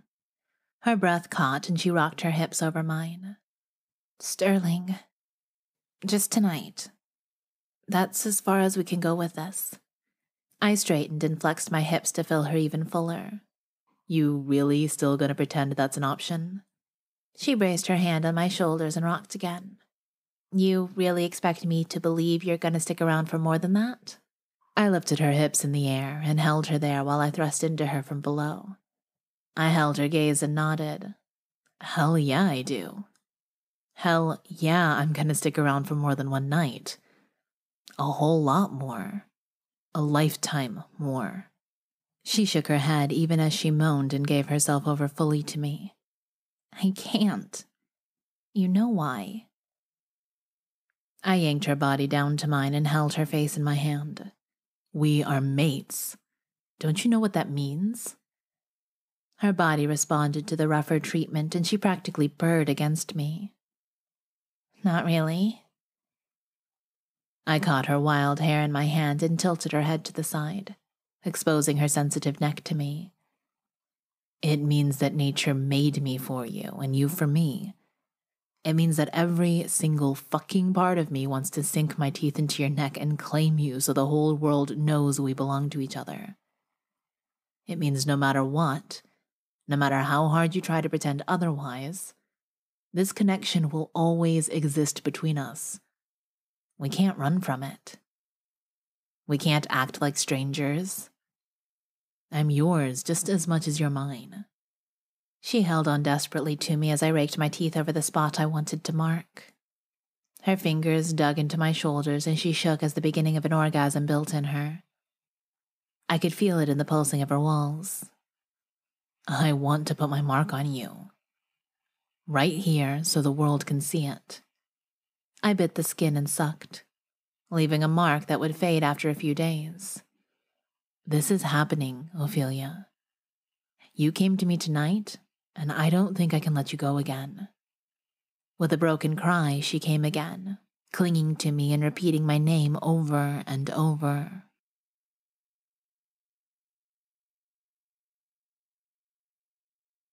Chapter 10 Ophelia What made you start racing? It doesn't seem natural for a bear. I felt like my bear was going to crawl out of my skin just watching you. I was curled in Sterling's arms, knowing that I should have made him take me home. Instead, he started a small campfire in the cave with a few twigs and branches he'd found strewn inside. We were snuggled, watching the rain fall outside and the flames quietly dance off the golden walls. It was one of the few things I was good at. When I was 16, driving a piece of shit beater, I outran a cop. Before he locked me up, he suggested I find an outlet for my aggression. I did. He shifted in the chair and ran his hand over my hair. It had dried into a mass of wild curls that he seemed to love stroking. So you were a bad boy, huh? He laughed. I was excitable. Hutch was the responsible one, taking over everything after our dad died and our mom fell into a depression. I didn't really have a role to fill. I had a lot of pent up emotions and no one to notice or care. I didn't know how to behave, so I just went with asshole. I rested my head on his shoulder and looked over at him. And you still go with that? His other hand was on the curve of my hip and he lightly slapped my ass. We called a truce while we're in here. This is a cave of sex and good things, not anger and name calling. I grinned and shrugged. Just curious. The guy in here with me isn't the guy I heard rumors about all over town. I just want to know which is the real Sterling Mallory. My heart raced as he remained quiet. I didn't know what I was really hoping for. If he was the generous guy who'd given me more consecutive orgasms than I'd ever had in my life, I was going to be crushed when I walked out and had to call it quits. If he was the chronic womanizer, I was going to be crushed when I walked out and he didn't think twice about me after I'd just had the most incredibly memorable night of my life. This is me. I mean, at some point I was that asshole. I can't act like I haven't done shitty things. I slept around, everything was a joke to me. I hurt your brother. Well, because I could. Dealing with the consequences of my actions, though, has kind of put things in a whole different perspective for me. You're my mate. I fucked up enough to make my mate think that I wasn't worthy to be with. That kind of hurt runs deep. I sighed. Shit. I didn't have a clue what I was doing. I'd given in, and now. Now I didn't know if I'd be able to quit him. Already I felt like an addict. Lying in Sterling's arms was the most I'd felt at home since being back in Burden. I couldn't be with Sterling, though. It wasn't right. I owed Kyle my loyalty. He was the only family I had left. I had to be there for him. I'm sorry for what I did to Kyle. Because of you. I'm sorry I hurt your brother. The guy can be a dick, but I fucked up. I should apologize to him, but every time I'm near him, he tries to knock my teeth down my throat. And I'm not sorry enough to let that happen. I groaned. He would be so hurt if he knew I was here with you. Sterling's fingers tangled in my hair and pulled my face around to his. We're mates. He'll get over it. I laughed and couldn't help running my fingers over the stubble on his face. You don't know Kyle. He hates you. He holds grudges and he doesn't understand mates. Plus, he never wanted to know anything about Bear since he didn't get the genetic trait. He was always bitter that his sister was a shifter and he was just human. If only he knew how much I wanted to trade him. Why? I sat up and looked at him. Seriously, I turned into a furry bear. Not just a furry bear, but a fat one. Not just a fat furry bear, but a clumsy, fat, furry, worthless bear who has no understanding or knowledge of nature or the outdoors. I sprout fur at random times if I'm upset and I break things. It's horrible. He looked at me like I'd spoken a foreign language. Ophelia, bears are big. That can't be helped. And your bear isn't worthless. Every cub learns about nature the same way by exploring. Didn't your parents teach you? I shook my head. My dad wasn't a shifter.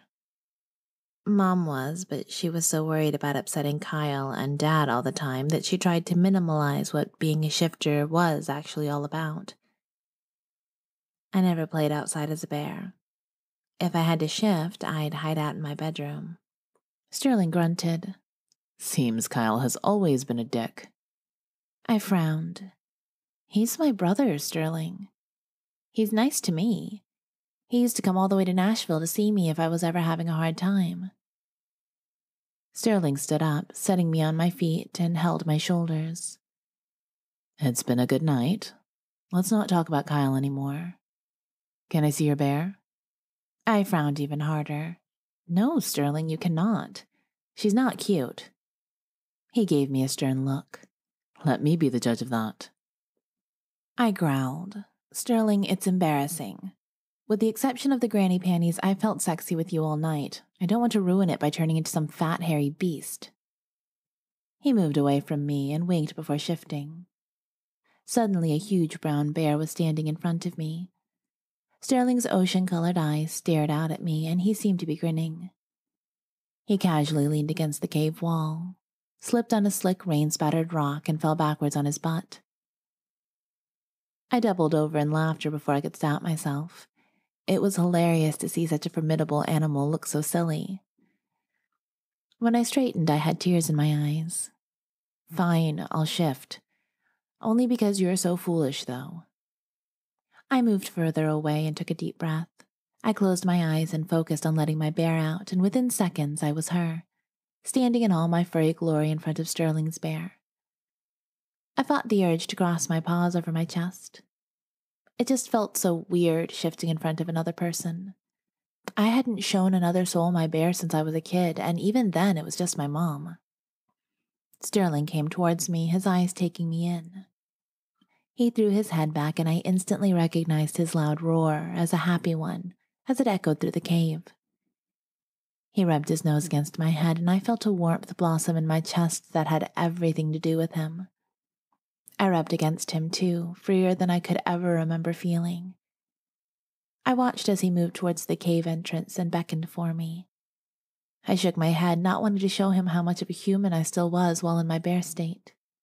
He stepped out in the rain anyway, stood on his hind legs, and tilted his head back before dropping to all fours. He looked at me over his shoulder, let out a playful growl, and then took off running. My bear reacted instantly forgetting the usual hang ups.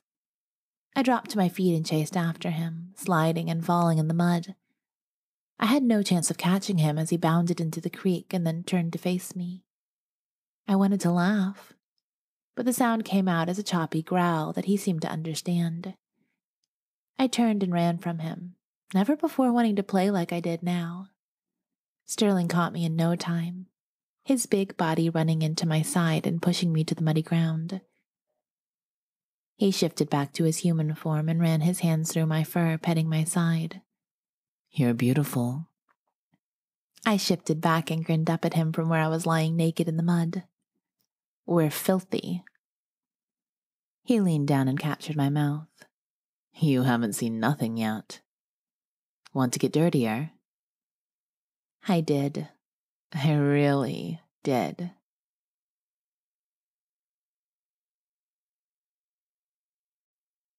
Chapter 11 Sterling The sun was coming up over the hills when I dropped her off at the end of her street. I hated not being able to drive her straight to her house and walk her to the door, but she was adamant that Kyle not see us. I didn't know how she planned to keep us a secret. I fully intended to claim her. Unless Kyle left town, never to be seen again, he would find out about our mating sooner rather than later. She looked over at me and bit her lip as a slow smile tilted her full lips. Her eyes sparkled and her skin glowed under spatters of dried mud. Don't be mad. I shook my head. I'm not mad. I'm just already resigned to the fact that this sneaking around isn't going to work. I'm going to claim you, Ophelia Barnes. I won't hide that. Don't say that. Her cheeks flushed and the scent of her arousal filled the truck. I turned the truck off and ran my eyes the length of her body. She wore my mud stained t shirt and nothing else. We hadn't been able to find her big underwear. No loss there. Don't say what. That I'm going to claim you? I am. I'm going to sink my teeth into you right before you explode all over my. Sterling! Her shout was supposed to be a warning, but it lost its weight when it rolled out of her mouth in more of a breathy moan. I caught the back of her neck and pulled her closer to me. We'll talk to Kyle together. Explain. Make him understand. She pressed her hands against my bare chest and groaned. I can't. You know I can't, Sterling. I'll figure something out. This just has to be our secret for now. I let her slide away from me and shrugged. It's a bad idea. She opened the door and slipped out. The shirt fell down to her knees. It's the best one I've got right now. What happens when this has gone on for six months or a year? I'm just supposed to stay hidden in the shadows? Her eyes went wide. Six months or a year? I can't imagine this mate thing will last that long, right? I mean, I'm sure you'll be bored with me sooner than that. In the meantime, we'll figure it out. I'll see you later. I hope you like the article. I watched, dumbfounded, as she pushed the door shut and then ran down the road toward her house, holding her breasts to her chest to keep them from bouncing. Won't last that long. Was she serious? My chest felt like it was being squeezed in a vice. She still didn't get the mating thing. It hurt like hell that she assumed what we had was temporary. But I didn't know how I was supposed to show her otherwise while she was so dead set on keeping us a secret. She had some ridiculous plan to sneak around for covert rendezvous and clandestine trysts that didn't give us a hell of a lot of time for anything but hot and heavy hookups. I knew that with what little time I would get with her, I'd have a hard time using it to talk and get to know more about her. I craved her too much. Fuck. I suppose it was progress in a weird way. It was at least better than the cold shoulder I'd been getting from her. But damn it, it wasn't enough. Tasting her had shattered any hope I'd ever had of living a life without her. The damage was done. She was mine. I just have to figure out a way to show her what she meant to me while trying to keep to her cloak and dagger ruse. I went home and slept for a couple of hours before heading to Hutch's garage to check on my car. I pulled into the lot and sighed when I saw Hutch standing in front of my trailer with Thorn. The trailer was parked in front of the bay door at a weird angle that made it hard to move and impossible to get the car off. Hell. I parked in front of the trailer as best I could and groaned, getting ready for an ass chewing from Hutch. Were you fucking drunk when you parked this piece of shit last night? High? Mentally incapable of seeing that you've blocked every single one of my bays. How the fuck am I supposed to work like this? Thorn grinned, more like horny. You nearly ran me an alley off the road last night. I saw you with a hot little number in the passenger seat. Hutch's eyes rolled to the back of his head. Tell me you didn't. Thorn rubbed his forehead. Didn't what? Was she married? Shit, I'm out of the loop. Who was it? Kyle's little sister. Kyle Barnes? Thorn roared a laugh. Like that asshole doesn't hate us enough as it is. You can't keep your dick in check, can you, little brother? Why her? She already did a number on you. Why'd you go back again? Shit, that's right. She punched you in the dick, didn't she? I growled. Could the two of you shut the fuck up for two seconds? You're pecking like a couple of old hens. Jesus H. Christ. Hutch gestured towards his shop. Think I have an excuse to peck, bro. What can I say? Ali has Georgia and Veronica over all the time, and they peck constantly. I'm becoming one of the gossip girls. Thorn hid his face in his hands in mock shame. I stared at Thorn. You done? He crossed his arms over his chest and nodded. Yep. Just realizing how much I sound like a little bitch. Hutch lifted a shoulder. No argument there. I just stood there, listening to them as they ribbed each other and pretended to commiserate about the negative aspects of having a mate. For once, I didn't feel like my heart was being ripped out of my chest. I just grinned along with them. Hutch finally noticed and looked over at me. Why are you doing that? What? That thing with your face. It's almost a smile if it wasn't so American psycho. I reached up and touched my face. Bullshit. It's just a smile. Thorn winced. No, it's creepy, dude. What's going on with you? I feel like you've snapped or something. You assholes suck. Worst buddies in the world. I'm going to have to go find Sam and Wyatt, my real friends. Hutch wrapped his arm around my neck and rubbed my head with his knuckles. Now who's being a little bitch? I broke away and shoved him. I'm gonna bleed you. Thorn saved him. What are the chances Wyatt's mom still has breakfast on the table? Pretty good. The last one there sits in the broken chair.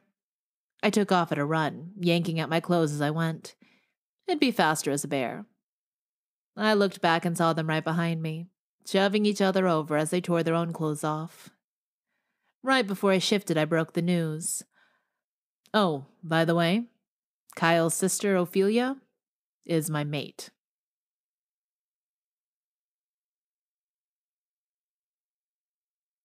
Chapter 12 Ophelia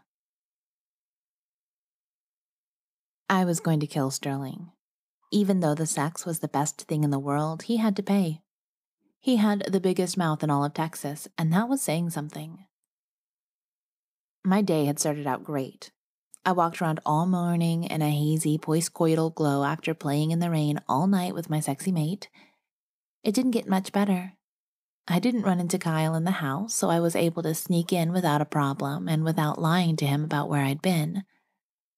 I wrote a glowing article and turned it into Karen, who was thrilled with it and the picture I'd snapped of Sterling. I found a few extra dollars in my pocket and bought an avocado to eat with my lunch. Life was sunshine and roses. The day started to get a little rocky when I returned home after work and Kyle asked me to go with him to watch a football game that the local guys held behind Thorn Canton's bar. I figured we wouldn't do too much talking while he watched football. It would be safe enough. Halfway through the game, though, I looked up to see Allie, Georgia, and Veronica staring at me. Georgia crooked her finger, motioning for me to join them, and my heart began to race. I knew them from the Naughty Book Club and around town, but they'd never beckoned me over like they were doing then.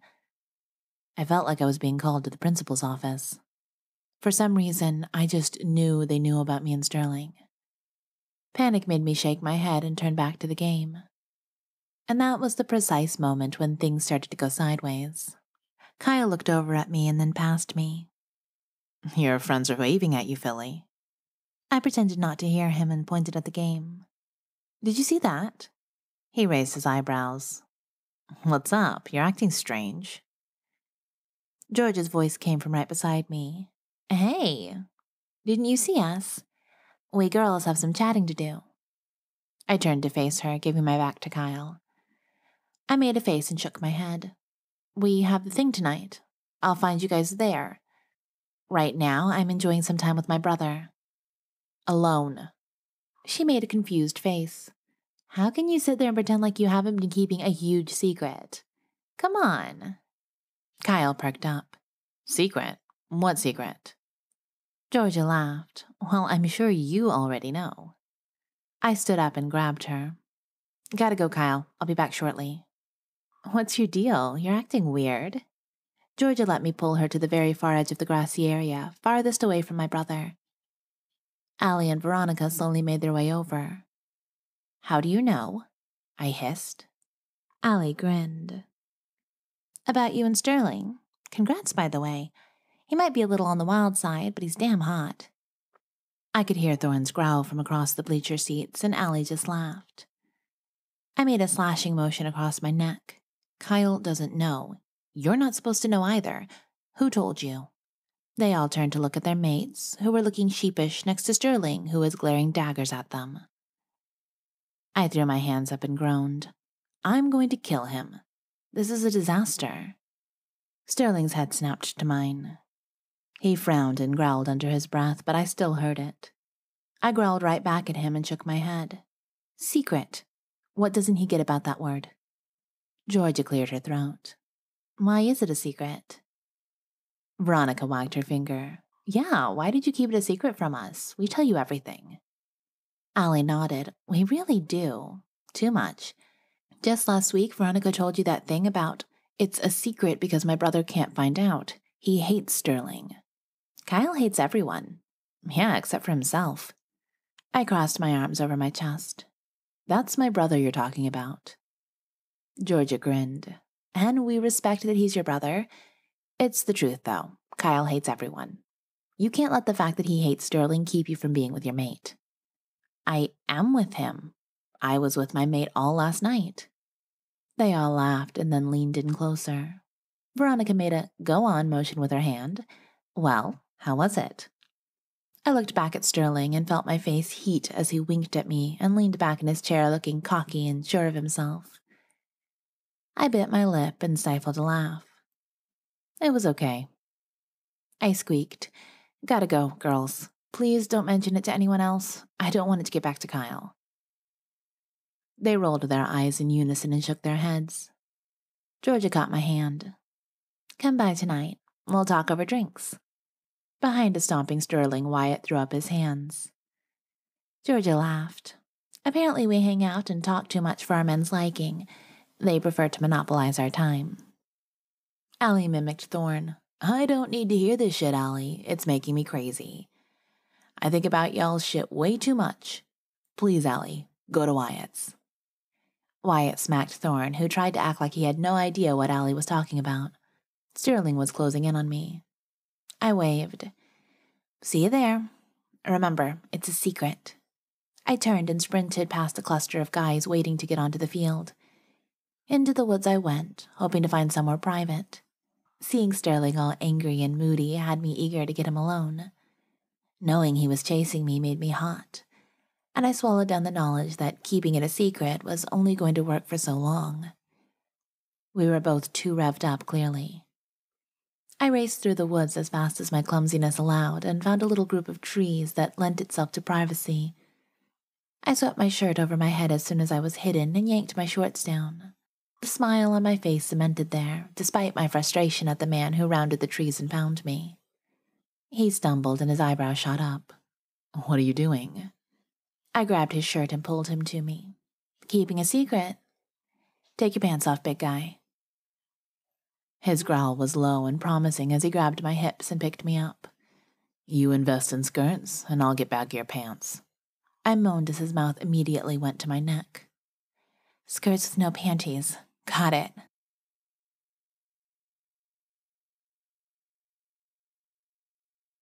Chapter 13 Sterling I adjusted myself under the table, trying to hide the constant erection I sported It'd been a couple of hours since I watched Ophelia run off from me while slipping her shirt back on, but I couldn't get the image out of my head. She'd looked over her shoulder at me with so much promise in her silver eyes that I couldn't help but dream of the next time I got her alone. But I didn't know when that would be. My mood quickly threatened to go sour as I thought about the arrangement. No part of me was interested in running around like a teenager hiding from his parents. We were mates. Kyle was going to have to get the fuck over it and accept that. I drained a shot of whiskey, mood officially ruined. I shook my head and grabbed Hutch's shot before he could drink it. He hit me in the arm and grumbled, Fucking get your own. I glared at him. I don't want to hear any complaints from all of you lucky sons of bitches. None of your mates are making you sneak around like a teenager. Like little pussies, more like it, Thorn grinned. She's crazy if she thinks she can keep it hidden from Kyle. I growled. One, don't call me a pussy. Two, don't call my mate crazy. But yeah, she's fucking crazy. Why don't you just tell Kyle? She'll get over it. Sam shrugged. She's got to, right? The rest of us just stared at him and then laughed. Even in my shitty mood, I couldn't help but laugh at him. Brother, you've got no clue. And you do? Fuck you, Sam. I nodded towards the door. You want to get your ass handed to you tonight? He grinned and shrugged. Why not? I've got time and nothing to do.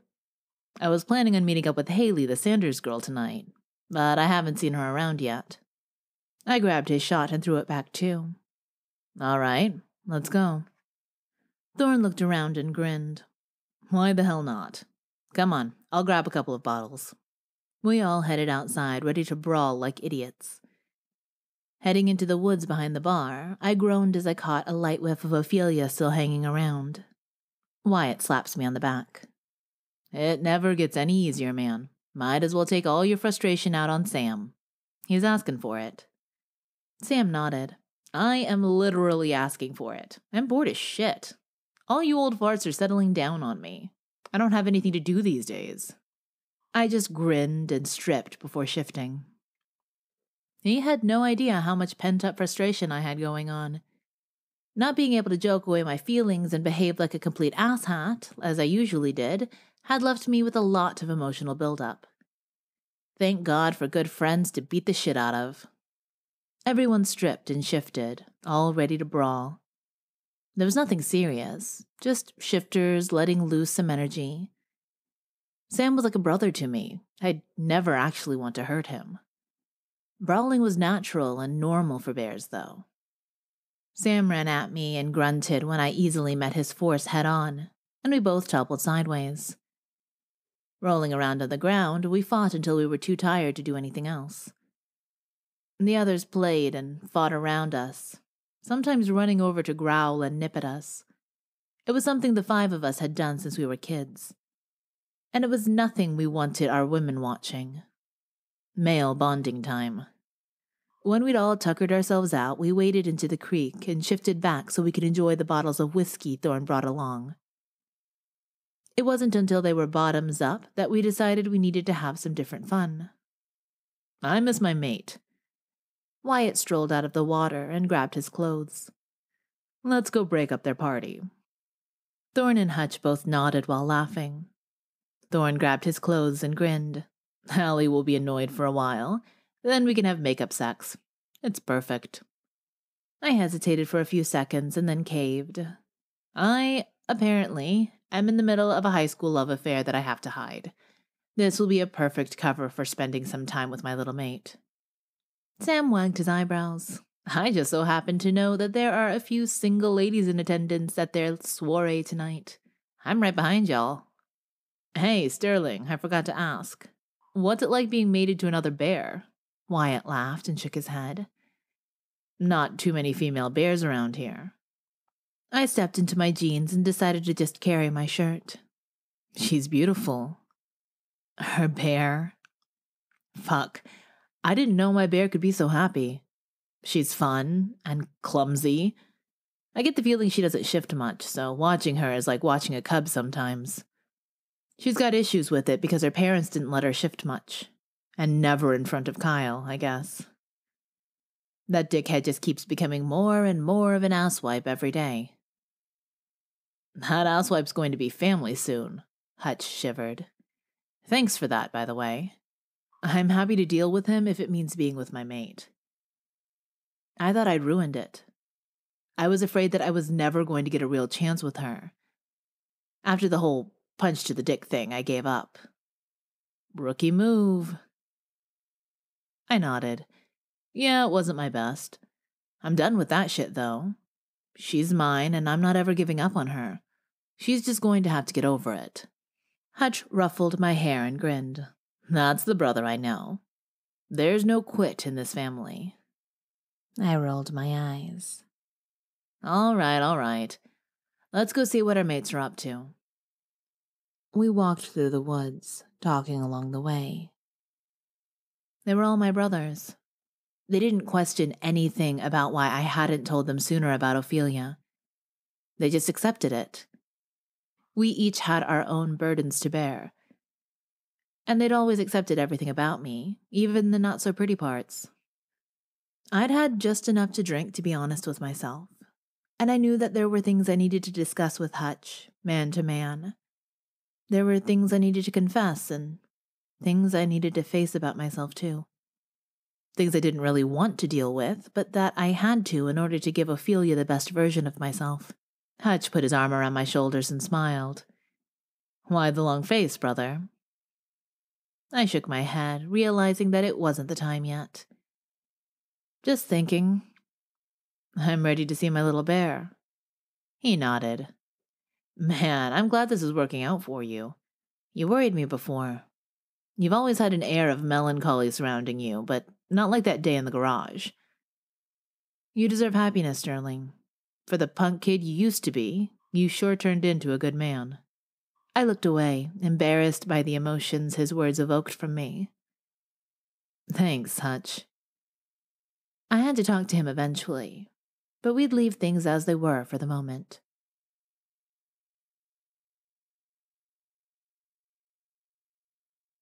Chapter 14 Ophelia.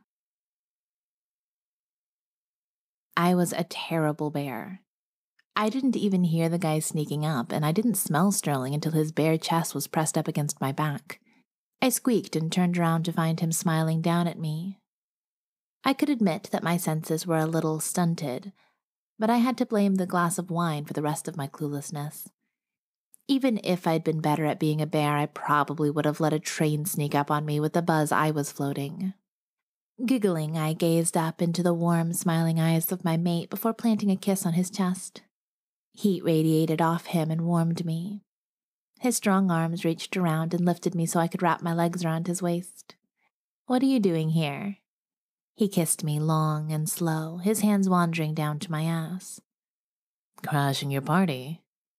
I looked around, and that's when I noticed for the first time that there were other men in the house. Feeling embarrassed, I pushed against Sterling's chest, but he wouldn't put me down. I sighed and slumped into him, Supposed to be a secret, Sterling. His fingers dipped lower, brushing over my core through my jeans. We're going to have a talk about that. But later. It's obvious neither of us are in the mood to talk. I shook my head and ran my fingers through his short hair. I just had him a few hours earlier, but I wanted him again. Let's go home. His eyebrows went up. Home? I shrugged. My house? Kyle is gone, He's away visiting a friend in Dallas tonight. You want me to go to your house? It's closer than yours. I rubbed my chest against his and pressed my mouth to his neck. Nibbling him, I felt my body heating up. Now, Sterling. Unless, of course, you don't want to. He growled and tightened his hold on me. Addressing the group behind me, he raised his voice. See y'all. I laughed as he rushed us out of there. Without either of our vehicles, he carried me all the way across town, through the woods, to my house. I marveled at how strong he was, carrying me with ease and without breaking a sweat, despite my extra forty or so pounds. When we got closer, I spoke in what I thought was a whisper until I heard it out loud. Watch out for Mrs. Cummings. She's a nosy busybody. She sells makeup and is always looking out her front window hoping to spot a potential new customer. He grinned. You'd think she's looking for new customers at midnight? I shrugged. Maybe. He laughed out loud then and just kept chuckling, even when I slapped my hand over his mouth. He snuck us around to the back door and then planted me against it so he could kiss the hell out of me. I forgot that I was worried about our neighbors and moaned as I arched my back, trying to be closer to him. Sterling. He kissed down my throat and growled, it's harder and harder not to sink my teeth into your neck, baby. My hand closed around the doorknob and I twisted it, causing us both to stumble into the house. The door slammed open into the shelf on the wall behind it, and something breakable hit the floor and shattered. When Sterling tried to put me down to check it out, I locked my legs around his waist and grunted, Upstairs. We took down a picture frame hanging by the stairs and a side table before making it to my room. Kicking the door closed behind us, Sterling tossed me on my childhood bed and laughed when one corner creaked and then dipped towards the floor. I buried my face in my hands and laughed. You broke my bed. He unbuttoned his pants and gave me a slow grin. We could do a whole lot more damage to it if you like. I bit my lip and crawled into the middle of the bed. This is the first time we've done it in a bed, and we broke it. Maybe we should stick to caves and trees. He shoved his pants down, revealing his delicious body. I'll buy you a stronger bed. I shivered and nodded. Come here. I want to taste you. I thought you'd never ask. At the risk of sounding like a broken record, I have to say it again. We aren't going to be able to hide this, Ophelia. I knew he was right. Each time I looked at him, I felt the pull stronger and stronger. It was scary how connected I felt to him already. I kissed his chest and wrapped my leg over his. I'll talk to Kyle.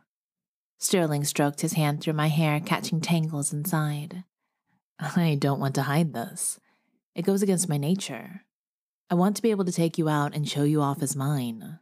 I want to be with you every second I possibly can be. I want what my brother and friends have. I grinned to myself, ignoring the anxiety I felt at the idea of talking to Kyle. I never would have taken you for the romantic type. I wasn't. And then there was you. Meeting you changed me. He sat up to lean against the headboard and pulled me with him, cradling me between his legs. I'd always heard that meeting a mate changes a man. It scared the hell out of me because I wasn't too sure what it meant.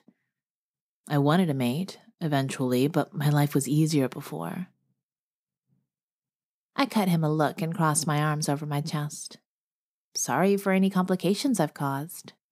He ran his big hand up my stomach and chest before lightly capturing my neck and running his thumb over the pulse that was beating erratically there. Not what I meant.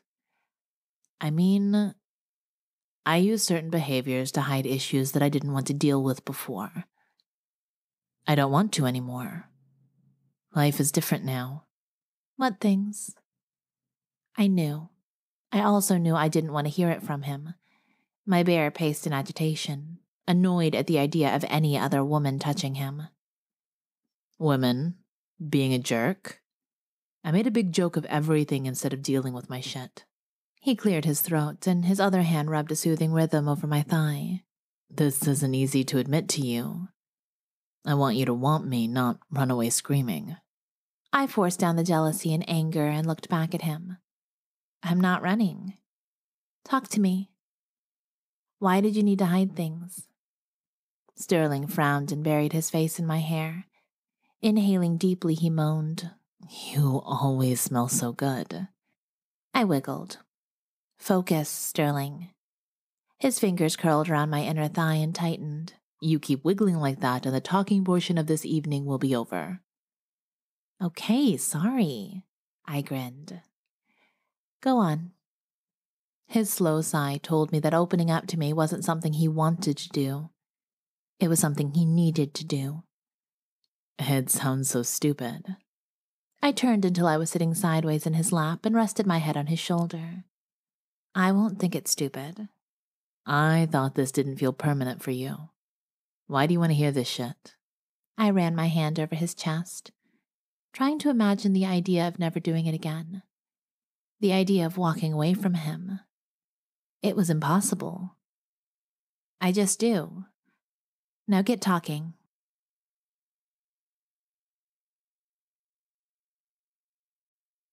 Chapter 15 Sterling I held her close as I brought forth memories of my childhood.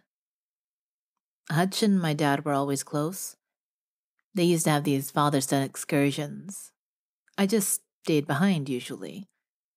It wasn't that they refused to include me or anything. I just didn't fit in with them, I guess. I usually hung out with mom. It sucked, but I'm glad Hutch got that time with dad. Ophelia stroked my chest and stared up at me. Did something happen to him? I nodded and took a few seconds to get my thoughts together before continuing. It wasn't that I didn't talk about Dad plenty. It was just still hard to say that he'd died. It still hurt. Over 30, and I still felt like I'd missed a chance to get to know my own father. I still felt cheated. Yeah, he died when I was young. Hutch kind of grew up all of a sudden, too fast, and saw it as his duty to provide for our family. He was a damn hard worker. Still is. He got a job pretty much right away and started taking care of me and mom. How old was he? I gritted my teeth and got ready for the awe in her voice. It was the same awe that everyone's voice held when they found out. Yes, my brother Hutch was amazing. Fourteen. She bit her lip and nodded. What did you do? I blinked a few times and furrowed my eyebrows. What do you mean? I mean, what did you do? You were so young. You lost your dad, and then your brother took over the role as man of the house. I'm sure it was almost like you lost both of them at the same time. I realized I'd squeezed my arms around her too tightly and eased up. I didn't do anything. My mom went into a deep depression for years, hardly ever got out of bed. How did you deal with that? I looked down at my mate and thanked the world for sending her to me. I don't know. I didn't. I made sure mom ate, took care of the house and shit. And other than that, I lazed around and let Hutch do everything. Not much has changed. He still works his ass off, and I race cars a couple of times a week for a living. Her face scrunched together. You don't really think that. I looked around her room, looking for anything to steal my attention away from her question. Sterling, you were a child. Hutch was too, but he was older than you. You were a kid trying to survive a rotten situation, I'm sure.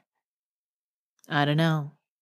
I always thought that maybe Dad knew the difference in us from the start. What difference? I swallowed.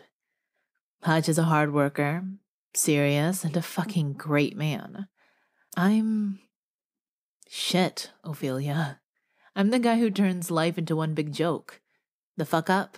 Cops, women, a string of jobs that clearly shows I have no idea what I want to do in life. She sat up and straddled me, grasping my face in her hands. You can't really see yourself that way, surely. I grunted, suddenly toeing the line of being way too uncomfortable to keep talking. I wasn't supposed to be scaring my mate away, and yet I single handedly turned the discussion to how much of a loser I was. If that's not who you are or who you want to be, Sterling, change. I don't think anyone else sees you the way you see yourself, though. Every time someone in this town mentions your name, they do it with stars in their eyes. You're a great man, too. Except for the whole womanizer thing. I raised an eyebrow. That's over. You were still doing it a few days ago. I heard you. One more way I'd fucked up. I took a deep breath and was about to explain that the truth was not as it seemed, and explain the whole ruse to her, when a truck door slammed outside. Ophelia jumped up and ran over to the window. Shit, Kyle's home. I frowned. Well, I didn't exactly plan on him finding out this way, but. Her eyes went wide, and she shook her head. No way. No fucking way. You have to leave. My bear growled, and I let it out. You must be kidding me. She shoved my clothes at me and shook her head. I don't want him to find out this way. I can't do that to him. Damn it, Sterling, hurry. I stood up, suddenly pissed. Shoving my legs into my pants, I yanked them up and fastened them. You know what, Ophelia? It really fucking sucks being kicked out right after I bare my soul to you like that. This can't keep happening. You need to tell him because what we have isn't going to go away. She rushed to the door and held the knob. She mouthed an apology, but I was too annoyed to care. Guess I'll see you around. I slid open her window, still shaking my head, and climbed down the side of their house before retreating into the woods. My bear didn't like this one fucking bit. It felt like I was running away from Kyle. I was a lot of things, but a coward had never been one of them. My bear didn't like retreat, and I completely agreed. It also sucked that my mate was choosing another man over us. Brother or not, what we had going, this stealth arrangement, was simply not going to work. I needed more from her. I didn't want to be some dirty secret she hid in shame. It was fucking with me. That was exactly what it felt like, too. She was ashamed of me. I shifted, shredding my pants, and charged into the woods, heading for my truck. I lifted my face to the heavens and let out a frustrated roar.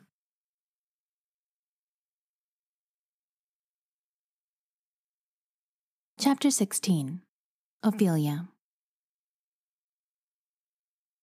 I winced as I heard the loud, frustrated roar from the woods behind the house. Sterling was pissed, and, if I wasn't mistaken, hurt. The timing was terrible.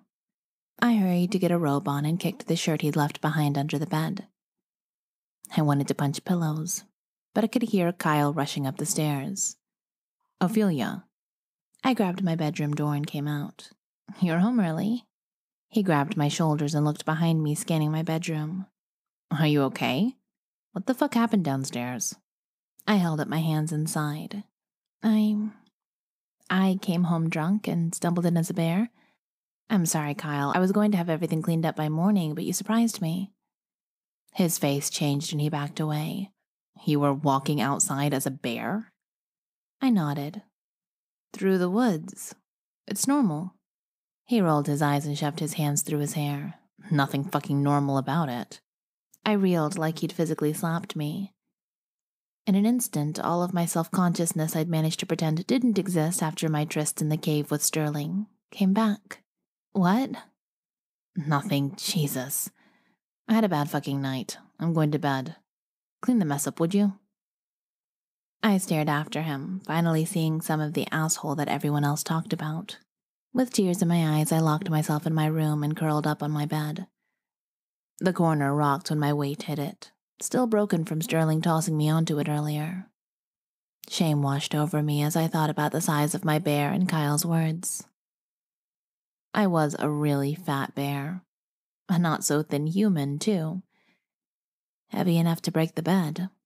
I grimaced at the thoughts racing through my head and reached under my bed to grab Sterling's shirt. Slipping out of my robe, I pulled his shirt over my head and breathed in his scent, calming myself. Sterling didn't think I was too big or abnormal. He liked my body and my bear. I think I'd messed things up with him, though. He hadn't tried to hide annoyance at being kicked out of the house. He wanted to confront the issue and nip it in the bud. He was brave and honest and wanted to be upfront. Why did he think his brother was such a great man but not himself? That's not what I saw. Not at all. Growling, I yanked the blanket over my head. I'd somehow managed to land a man who was hot as hell, thought I was sexy and beautiful and wanted me, and talked to me about how he felt. Jackpot. Yet, here I was, fucking it up all over the place. I was pretty sure that there was only so much hiding and sneaking around a man like him was going to put up with before he got sick and tired of it. In fact, he may have reached his limit tonight. I slept like crap, tossing and turning through nightmares of Sterling walking away from me. It was miserable. I woke up feeling like I'd been through a spin cycle of the washing machine, and crying from an especially raw dream where Sterling rejected me and all my friends shunned me for hurting him. I threw on some clothes and stumbled downstairs to clean up the mess we'd made the night before. Kyle was already gone, so after I finished, I just sat at the kitchen table with a pot of coffee. I had an article to write that day, but I'd already done the research and completed a couple of short interviews with which to compile a few quotes. I could just write it at home and send it to Karen if I wanted. After an hour of trying, I realized I couldn't. I went to the library instead and sat in Veronica's office while she led a group of kids in a playful story time. I got the article finished, and it was passable. and then headed towards Sterling's house. I wanted to apologize and let him know that I was going to tell Kyle. After driving all the way up his driveway, though, he wasn't even there. I went to Hutch's and he told me I'd be able to find Sterling at the track, practicing. He also gave me a disappointed look that sent me scampering away. I felt guilty enough as it was. I didn't need Hutch's judgment to make it worse. I parked in the lot and got out. Sterling's truck was there, his trailer empty. There were a few other cars scattered around, but when I got to the track, I found that Sterling was the only driver on it. He sped around the big circle, drifting around curves and sending dirt flying everywhere. I spied several women sitting in the stands, eating and watching him too. To my dismay, Kyle's ex fiancee was among them. My bear threatened to appear, but I managed to soothe her enough to keep her contained. Presley Gray was no threat to me. I had to remember that. Sterling pulled the car to a stop in front of me and slipped out of the window. Instead of coming over to me, he leaned against the hood and crossed his arms over his chest. I blew out a breath. Yeah, he was still upset with me. I gracelessly crawled over the shortest part of the fence and ended up stumbling and falling in the dirt. I got up quickly, though, brushing dirt off my knees. By the time I got to Sterling, he was grinning and shaking his head. Even if I wanted to stay mad at you, I couldn't. I scowled and then grabbed his hat from his head. You can have this back for a kiss. His eyes cut to the stands. You sure? People might see. I kept my eyes on his, noticing the way the blue green flecks turned darker. I don't care. He grabbed me and spun us around. Dipping me, he laid my back down on the hood of his car, his body wedged against mine. Kissing me hard, his hand slipped down and cupped my ass. You done hiding me? I slipped his hat back on him and nodded. I'll talk to Kyle tonight. I owe you an apology, and I aim to give it to you, however you want it. Sterling buried his face against my neck and his tongue stroked out to tease me. I have a few ideas. I kissed him again and then pushed at his chest. All right, that's enough. We're giving your fan club a little too much of a show. He glanced over at the group and then grinned down at me. That was nothing. I never thanked you for getting my car back home the other day after I locked the keys inside. I sat up with him and wrapped my arms around his waist. So I owe you an apology and a thank you. And you're sure you're not into giving them a show? I nodded. What are they doing here anyway? He shrugged. I'm here almost every day practicing. Sometimes people come to watch. There's a potential sponsor coming to my next race, so I want to be sure I'm ready for it. And my man really thought he wasn't a hard worker. What would a sponsor mean? Bigger races. Races that end in higher monetary awards. I felt his excitement and smiled. You'll do great. I won't keep you from your practice, though. I just wanted to find you and apologize. Want to do a lap with me? I quickly shook my head. Not a damn chance, you nut job. Bears aren't meant to fly. Will I see you tonight? I shot him a wink. I hope so.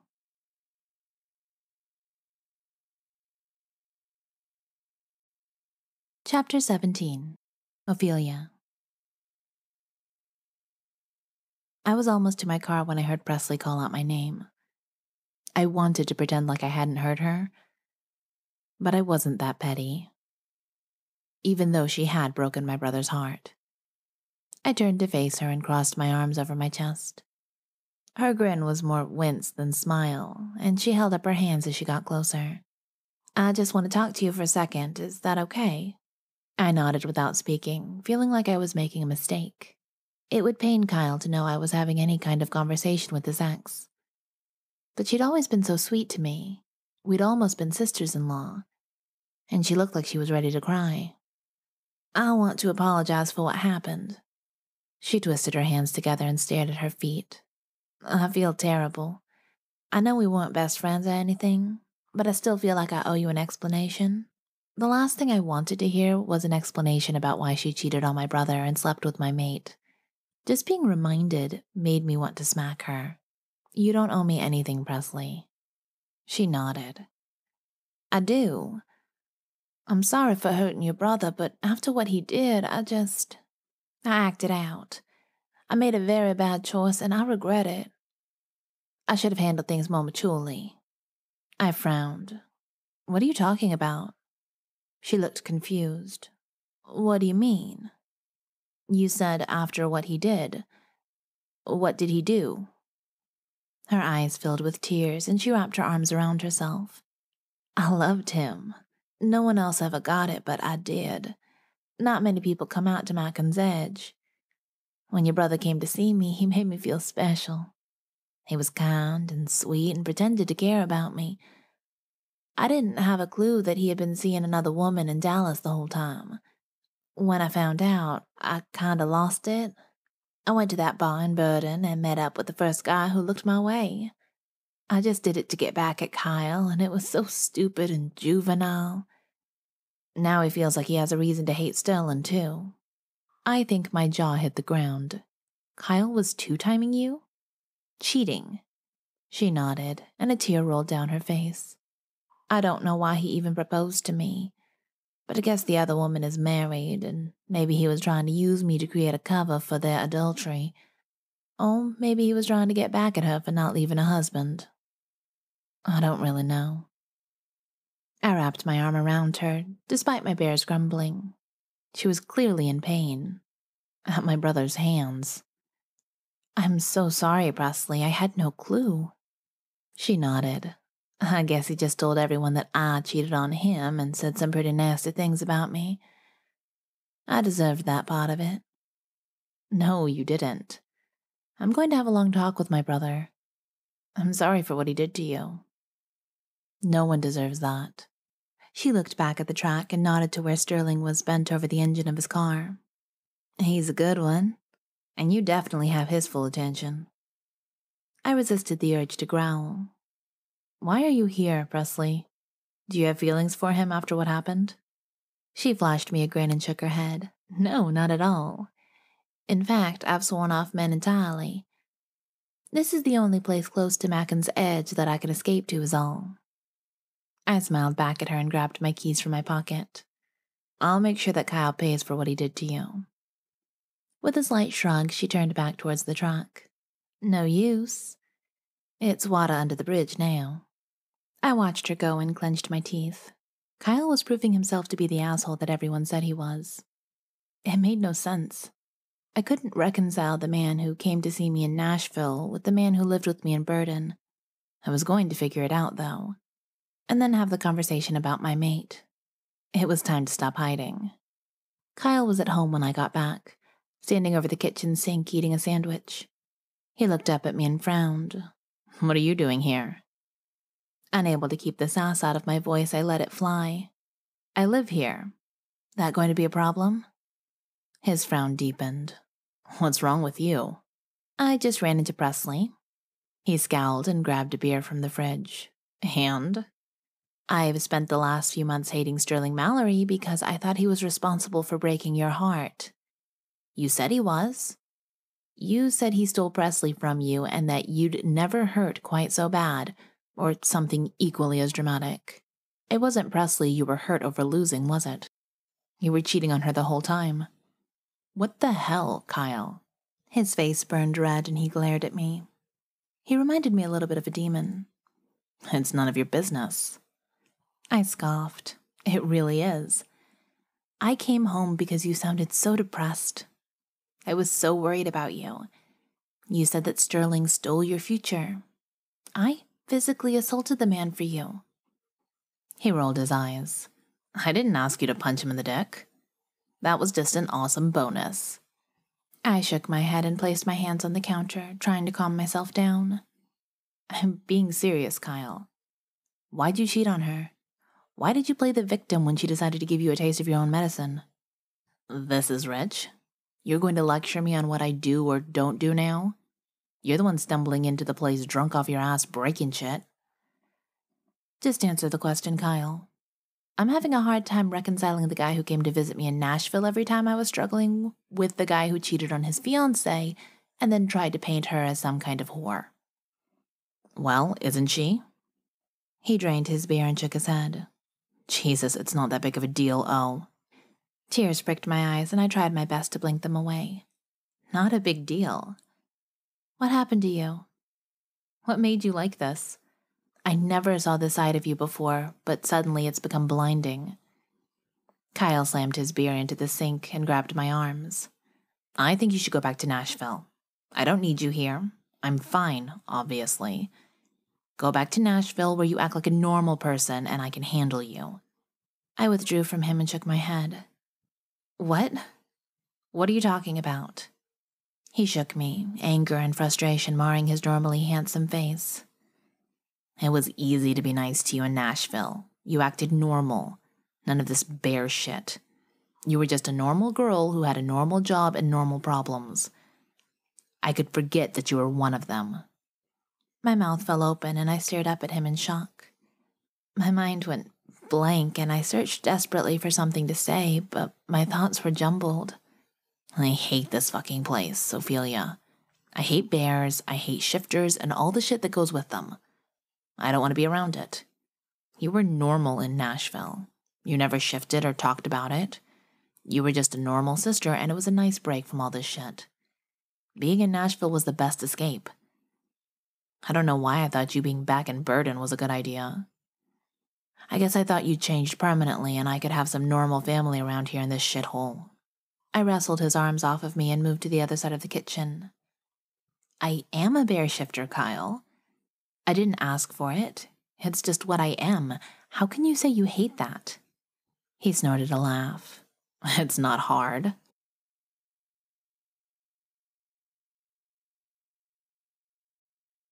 Chapter 18 Ophelia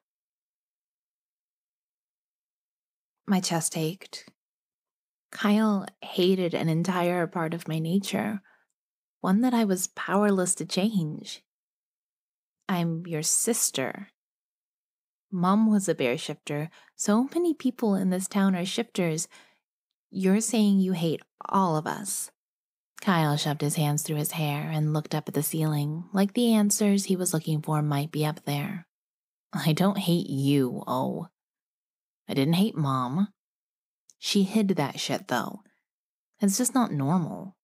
It's weird, and I don't understand why you'd want to shift into a big ass bear anyway. It's not exactly attractive. My hand flew to my chest like that would help the pain he was causing me. You can't actually feel that way, Kyle. I know the gene skipped you, and mom thought that might cause some jealousy, but this is a little extreme. Jealousy? You think I want to be a freak? He laughed and shook his head. That's the thing with all the shifters in this town. You all think you've been given some great gift. You think you're the best thing ever because you can turn into a fucking bear. When really, you should all be hiding that circus freak show shit. I shuddered as his words washed over me. It was a nightmare come true. All the self consciousness I'd felt my whole life about my bear came roaring to life, and all I wanted to do was hide.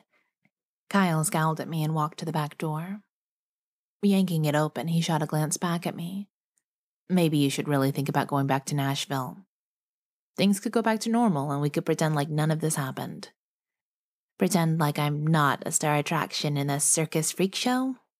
He nodded. Yeah, until you leave, you can stay here, but don't break anything else, though. The door slammed behind him, and I clutched at my shirt, attempting to get it away from my skin. I felt like I couldn't breathe. My heart throbbed painfully in my chest, and I started tingling all over.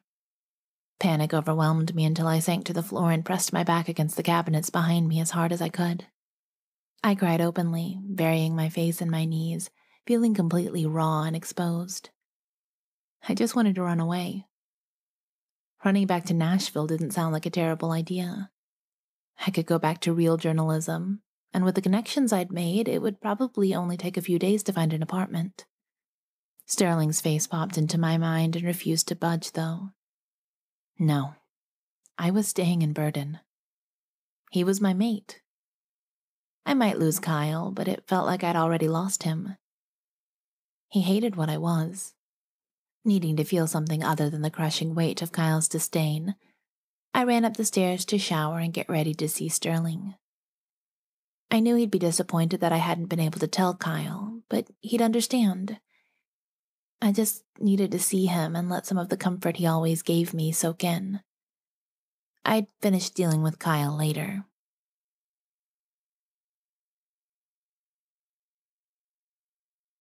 Chapter 19 Sterling Pure excitement tingled through me as I pulled up to the cave and parked my truck. I got out and straightened my button down shirt. I'd taken the time to get dressed up for the night. It was the first time I was going out with my woman, and it was a big deal. Ophelia had wanted to meet in public, so that meant no more sneaking around. That meant she'd told Kyle. What the hell was wrong with me? My heart raced and my palms were sweaty. I was nervous as a virgin on prom night. It suddenly felt real, like she was ready to commit. I still didn't know if she really understood the mate bond, but I had plans to take her back to my place tonight and explain it in graphic detail, complete with examples and demonstrations. I pushed my way inside and spotted my little bear at the bar.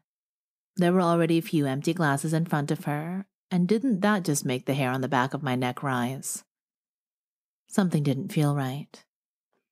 I strolled past the guys, offering a wave, and came up behind Ophelia. I grasped her hips and brushed my lips over her hair. Hey. She gasped and spun around to face me. For a second, it looked like there were tears in her eyes, but then she smiled and threw herself against my chest. Her arms held on tight and she inhaled deeply. Sterling, I smoothed her wild hair and held her head against me. What's wrong, baby? She stayed still for a few more seconds and then pulled away. Nothing. Sorry, just a bad day. I've had a few drinks while I was waiting on you.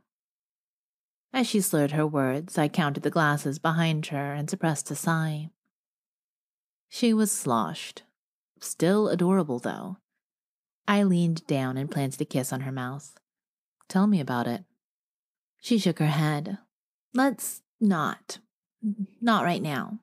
Let's have a good night. I just want to be near you. That time I did sigh. My bear was agitated and I couldn't soothe him until he knew that our mate was okay. She looked like she'd been crying, and I had to assume it was because of Kyle. Anger washed over me at the idea of Kyle saying something to hurt her. Is it Kyle? What did he say when you told him? She blinked a few times and then motioned to Allie, who was bartending for another drink. No. I sat down next to her and caged her between my knees. Talk to me, Ophelia. That's not how you and I solve our problems.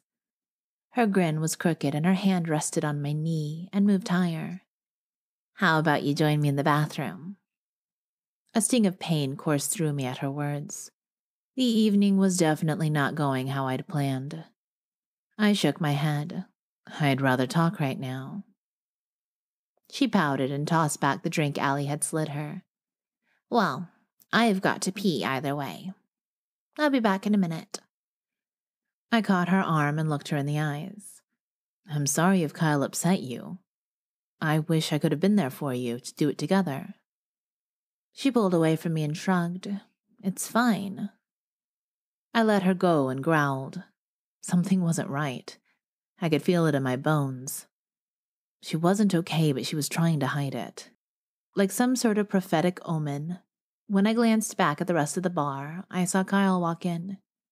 He met my eye and his lip curled in response before he headed for the pool table in the back. I took a deep breath and stood up. I was going to find out what the guy did or said to upset my mate, whether his sister wanted to clue me in or not. I strode across the bar and stopped a few feet from him. The girl he met up with looked up at me and grinned flirtatiously.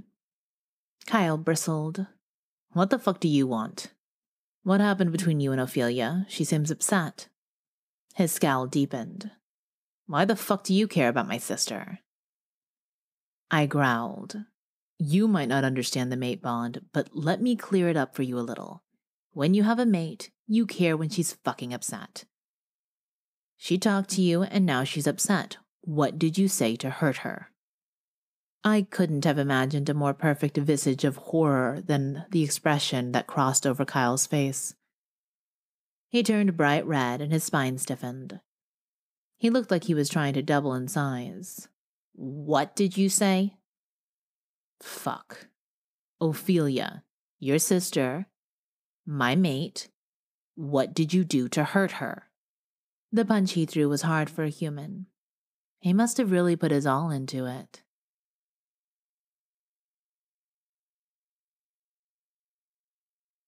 Chapter 20 Sterling Kyle's fist split my lip and knocked my head to the side. He didn't hesitate to throw another punch to my kidney. I growled and turned back to him, struggling to keep my bear in check. Look, motherfucker, you touch me again, I'm going to do something that pisses your sister off.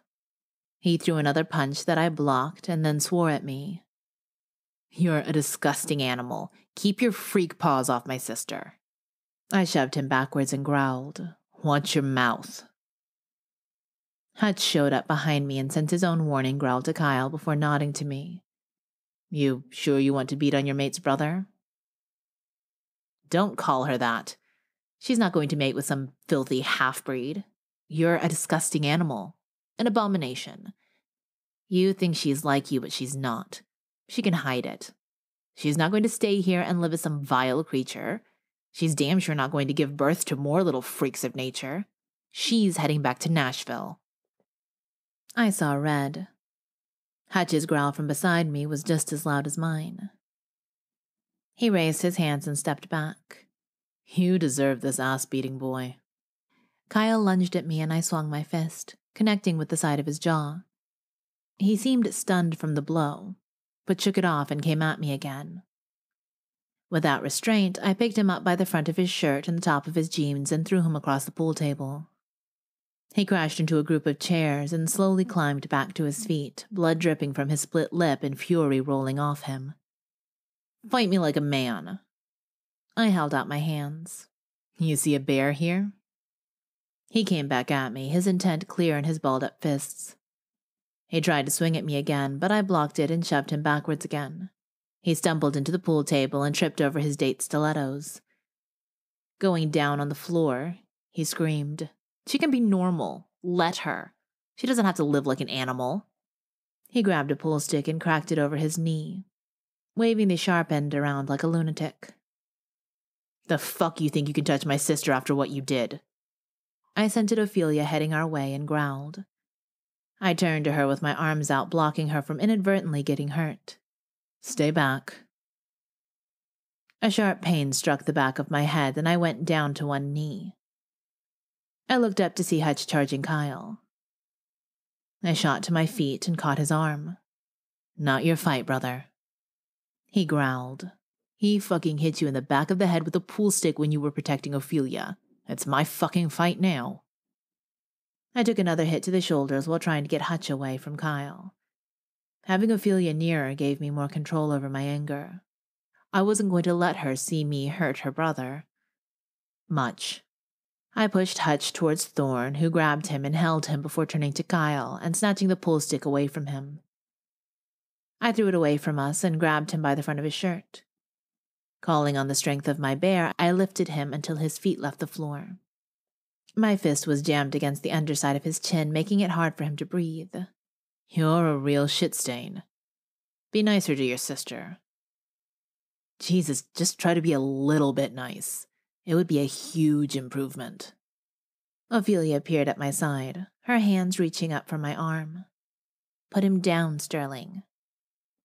I immediately dropped him and turned to her.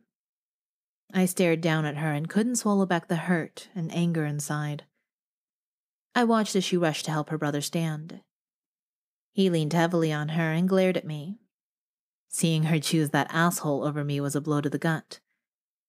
Not to mention that she'd lied to me about telling him about us. I suddenly felt hurt and angrier than I'd ever been. You lied. Her eyes jerked to mine and then fell away, quickly. Can we talk about it later? I shook my head. Why not? Everything on your schedule, right? Sterling, She met my eyes and winced at whatever she saw in my face. No other words came from her. She just blinked and remained at her brother's side. I turned away from her, kicking a chair out of my way, only pausing long enough to grab a bottle of whiskey that Sam was holding out for me. I shoved the door open so hard that I heard the thick wood crack, and then got in my truck. Revving the engine, I burned rubber as I pulled out. A trail of smoke and dust hovered in my wake as I floored the gas pedal. Speeding towards the track, I turned the radio up as loud as it would go, trying to drown out some of the painful thoughts threatening to consume me. I was back to feeling like a reject. I hadn't thought it could get worse than that first night. She'd waited until we got back to my place to tell me she would never be with someone like me. Then came the infamous dick punch. The punch hadn't hurt as much as her words. None of that hurt as much as right now. I bared my soul wide open to her, willingly giving her everything I had, and she would still walk away from me. Maybe she wasn't ready for a mate. Maybe she didn't know what she wanted. But the fact that she could lie to me, it wasn't going to work out that way. Frustrated, I parked and got out. Sitting on the tailgate, I opened the bottle and took a long pull. I wanted her but I didn't want to spend every day begging her to be mine. Apparently, the only way she'd been able to show her face with me in public was to get sloshed, it seemed. Fuck. I tugged at my hair and growled.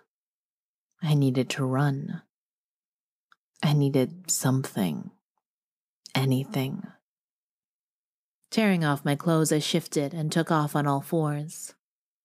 I had nowhere to go, but everything to run from.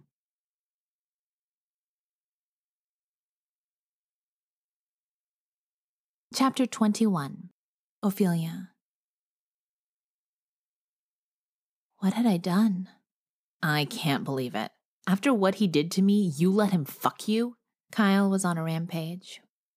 Instantly sober after seeing my brother attack my mate, I was driving him home in his truck. He hadn't fared too well, even after taking cheap shots at Sterling. I had messed up so bad. I knew it and I wanted to fix it, but I didn't even know how. Do you care so little for me? He stole my fiance. Jesus, oh. I slammed the truck into park in our driveway and turned it off. I didn't care what Kyle was saying. I was already out of there in my head, running off to find Sterling and try to make it right. I know I said you could stay here, but maybe it'd be best if you didn't. That got my attention. What? He kicked the truck door closed and grunted. You're leaving anyway. I think you should do it sooner rather than later. I'm just hurt that you do this to me, Oh. I don't want to see you right now. So you're kicking me out? He nodded. You let that animal touch you knowing what he did to me. Snapping, I kicked open the front door of the house, breaking the wood. Oh, get off your high horse, Kyle. He didn't do anything to you. You did it yourself. You've been so nasty to me. The things you've said to me aren't things I would say to my worst enemy. You find me disgusting? Fine. I find you pathetic. You're jealous because you're weak compared to the shifters around here. Sterling embarrassed you without even trying. You let that jealousy make you ugly, though. That's on you. Mom should have made you deal with it when you were little instead of forcing me to hide. There's nothing wrong with me, but there's a whole lot wrong with you. I'll get my stuff and go. I'm not going back to Nashville, though. I'm staying here and I'm going to be who I am a fucking bear. And I'll be with Sterling if he'll still have me after tonight. If you decide to stop being such a jackass, Kyle, you come and find me. I love you, but I really don't like you. I stomped up the stairs to my room and slammed the door shut. With my heart racing, I pulled out my cell and jammed at the buttons until I finally dialed Veronica's number correctly. She answered immediately. Holy shit, Ophelia, are you okay? I fought back tears. Can I stay at your place? Kyle just kicked me out and I need somewhere to go. Of course. I've been staying with Hutch anyway, so it's empty right now. Is there anything else I can do for you? A sob escaped. Does Sterling hate me? She sighed. I don't think it's possible for him to hate you. He did look really hurt, though. I rifled through the drawers, shoving clothes and other things that I might need into a duffel. I'd get the rest later. I messed up. I didn't mean to hurt him, I just panicked. I was wrong. So wrong. I have to talk to him. Maybe give him a night to cool down? I groaned. He hates me, I knew it. He doesn't hate you, Philly. Hutch went out to talk to him. I'll meet you at my house and let you in. You and I can talk. Hutch probably hates me too. I'll bring ice cream. You clearly need it. See you soon, Ophelia. I hung up and slipped my bag over my shoulder. Grabbing a few other things I thought I might need along the way, I headed back down the stairs and snatched my car keys out of the bowl on the side table. Kyle was sitting on the couch in the living room watching me. Shit, Ophelia, you don't actually have to leave.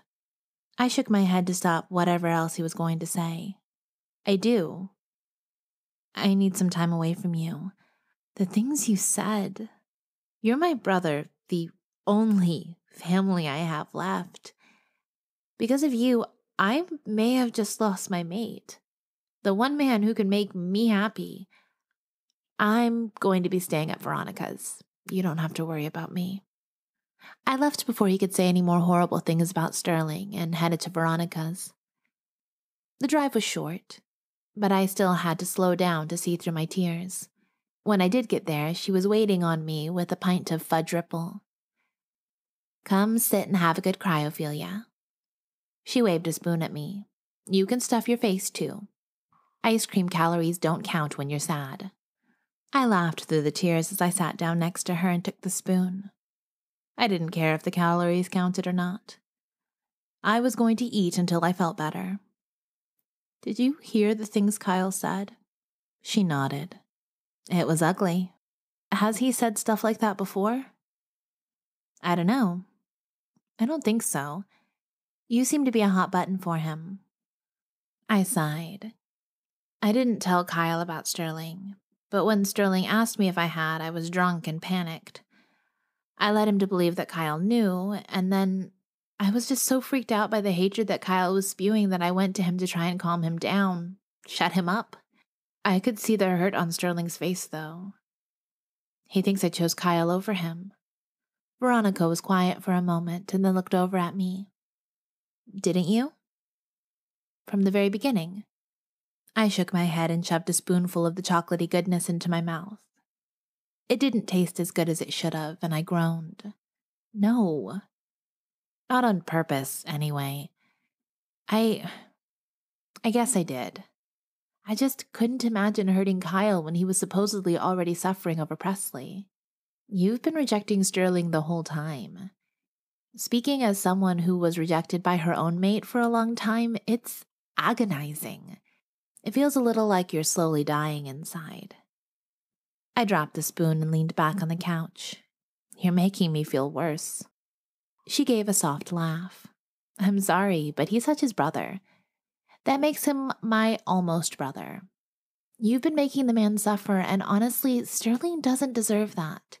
He's a really good man, despite the bull poopy that comes out of his mouth at times. He cares about you. You're crazy if you don't grab him and claim him as your own. I threw my hands up. I know. He is amazing. I just, I didn't realize.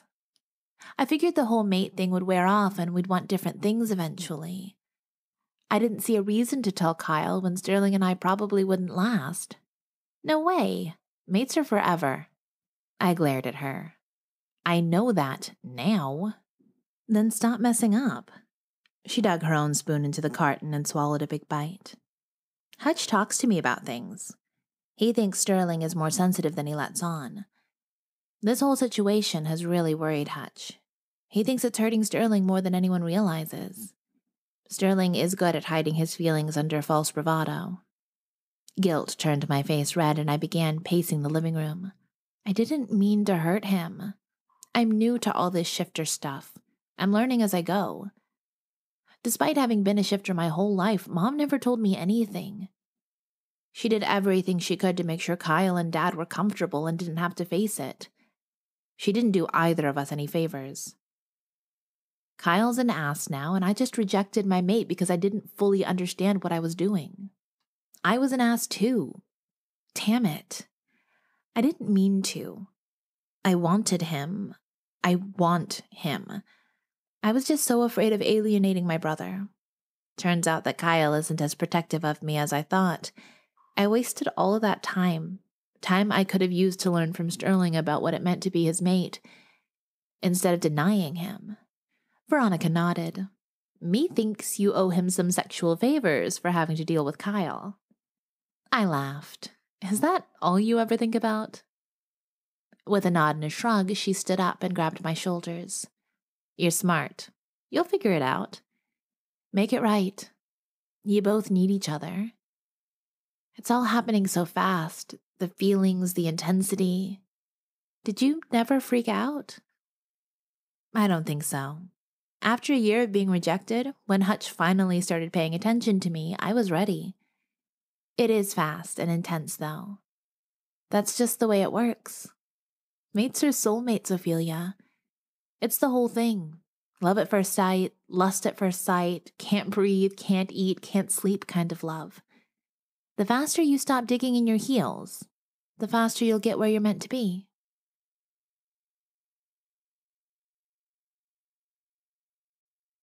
Chapter 22 Sterling Through my drunken stupor, I noticed a bear lumbering towards me. Hutch. I shifted back to human, knowing that he'd want to talk. I sighed. I was sitting on the grass outside of the track, wallowing in my misery. You look like hell, he said after shifting back. I sent Hutch an unamused expression. Thanks. What are you doing here? Checking on you. Things got ugly tonight. He grabbed the bottle of whiskey and tipped it over, letting the last drop fall out. You did a number on yourself, huh? We're bears. I'll be sober in an hour. Yeah, but right now? Drunk as hell. I chuckled and fell back in the grass, feeling the cool earth beneath my skin. Did you see her leave? Yeah, she didn't look like she was feeling too hot. There were tears. He grunted. She's a handful. I threw my arm over my face, hating the pain I felt, hearing that she'd been crying. She mm-hmm. chose him over me. Yeah, but we both know she didn't mean to. She looked horrified and shocked by what was happening. I sat up and just started talking, letting the liquor loosen my tongue. Maybe she made the right choice. Maybe I don't measure up. I've never been very good at anything in my life, so why would this be any different? Hutch remained quiet. We both know you got all the positive qualities from Dad, all the good guy genes. I'm a fucking joke. I scrubbed my hands down my face. Jesus, she could probably see it a mile away.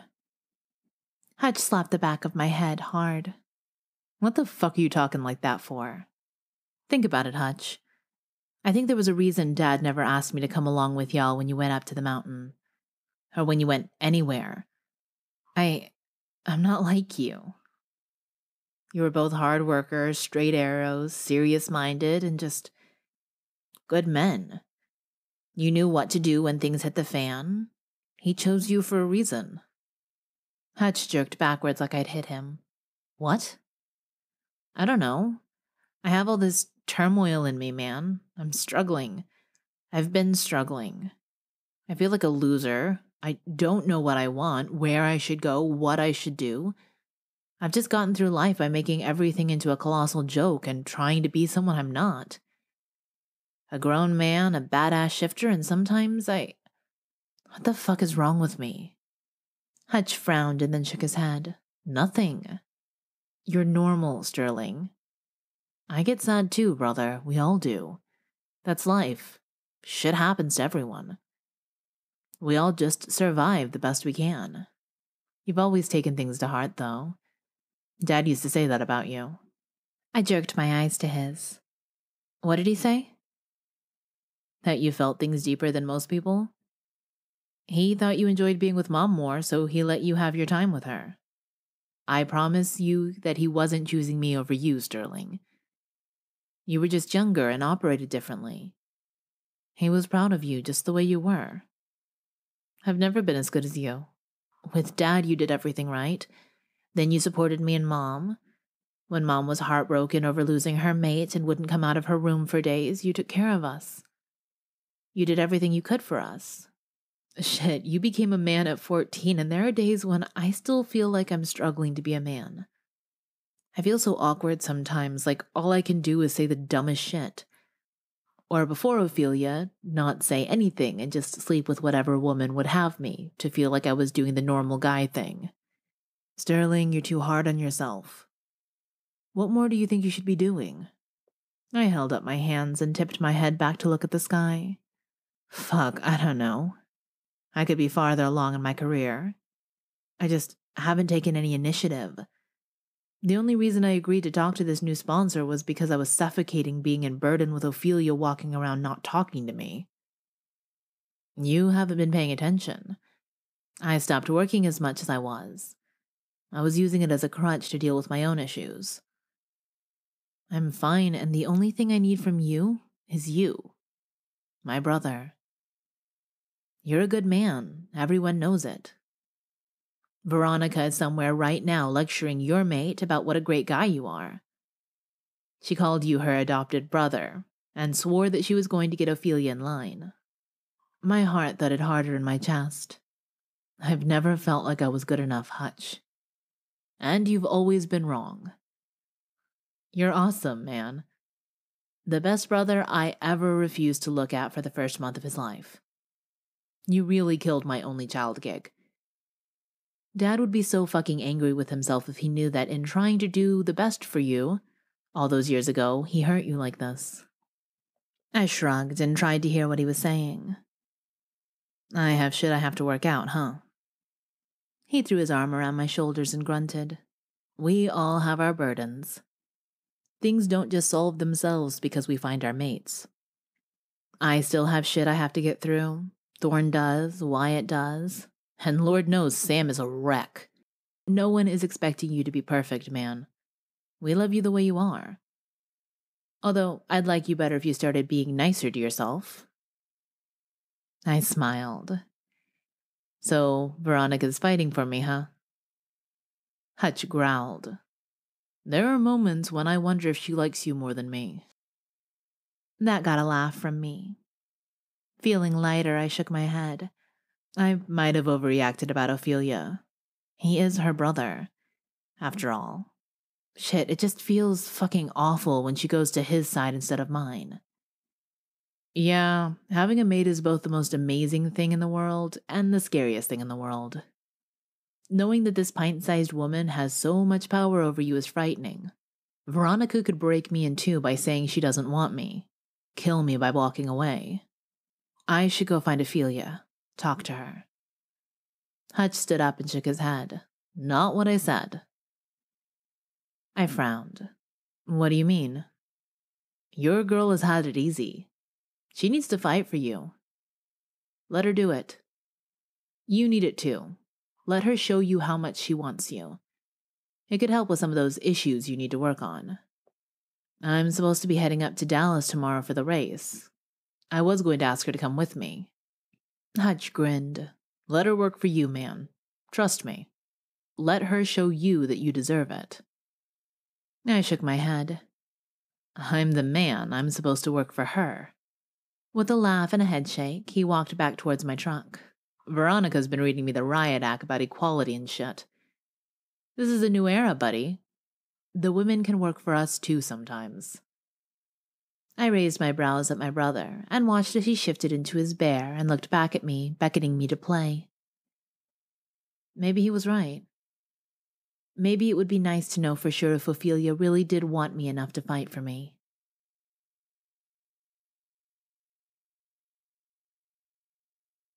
Chapter 23 Ophelia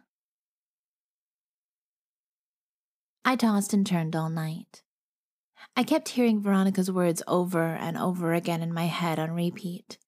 Sterling was sensitive, and I knew it. He was emotional, and as surprising as it was, it was a beautiful thing.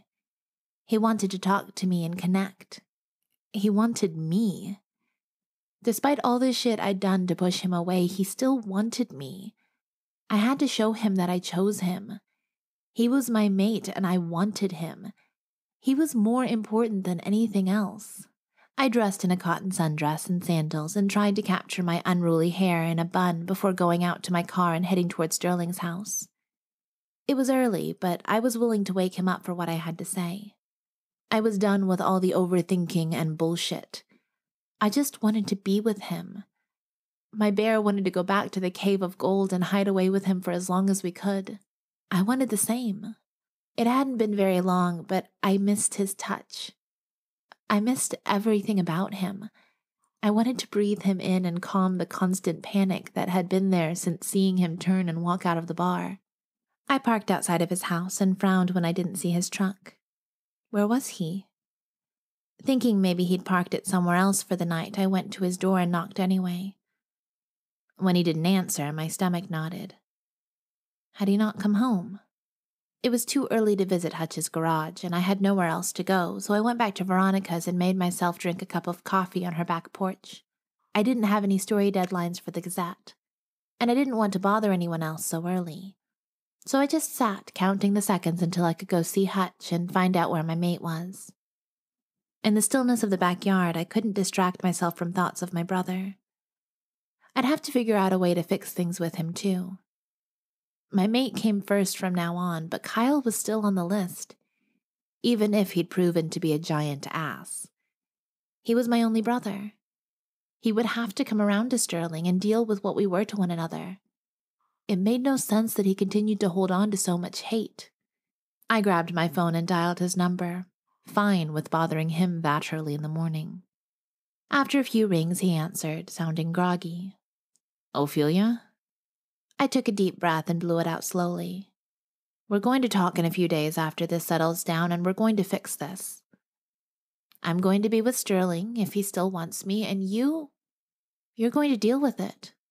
You're going to stop being a jerk and go back to being the brother that I love so much. Got it? He sighed. That's a tall order, O. Do you love me?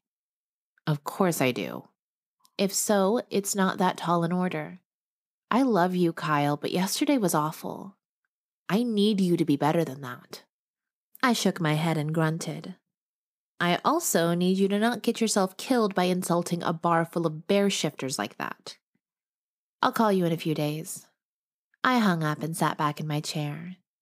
Restless, I decided to walk over to the garage. I'd just sit around and wait if I had to. I walked slowly, and when I arrived, I found that it was still locked up tight. I plopped myself on a bench outside and checked the time on my phone.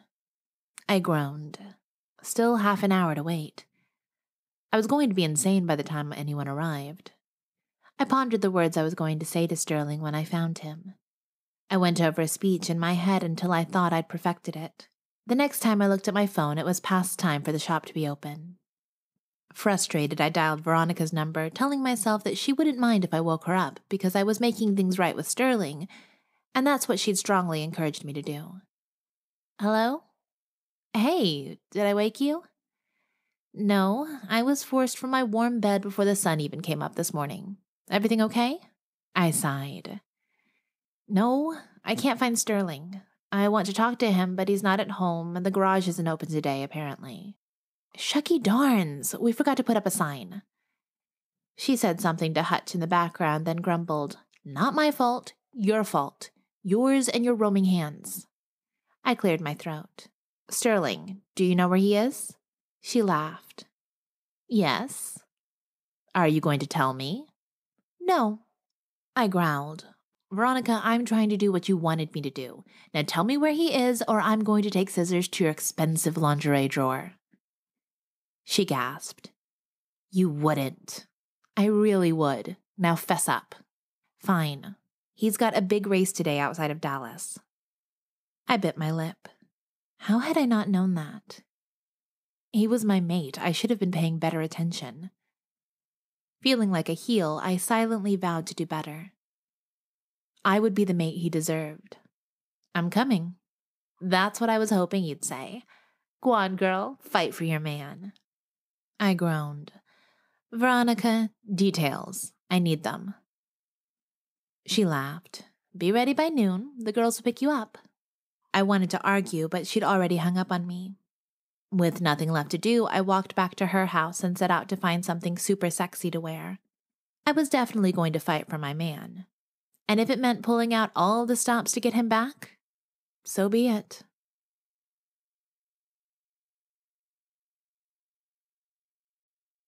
Chapter 24 Sterling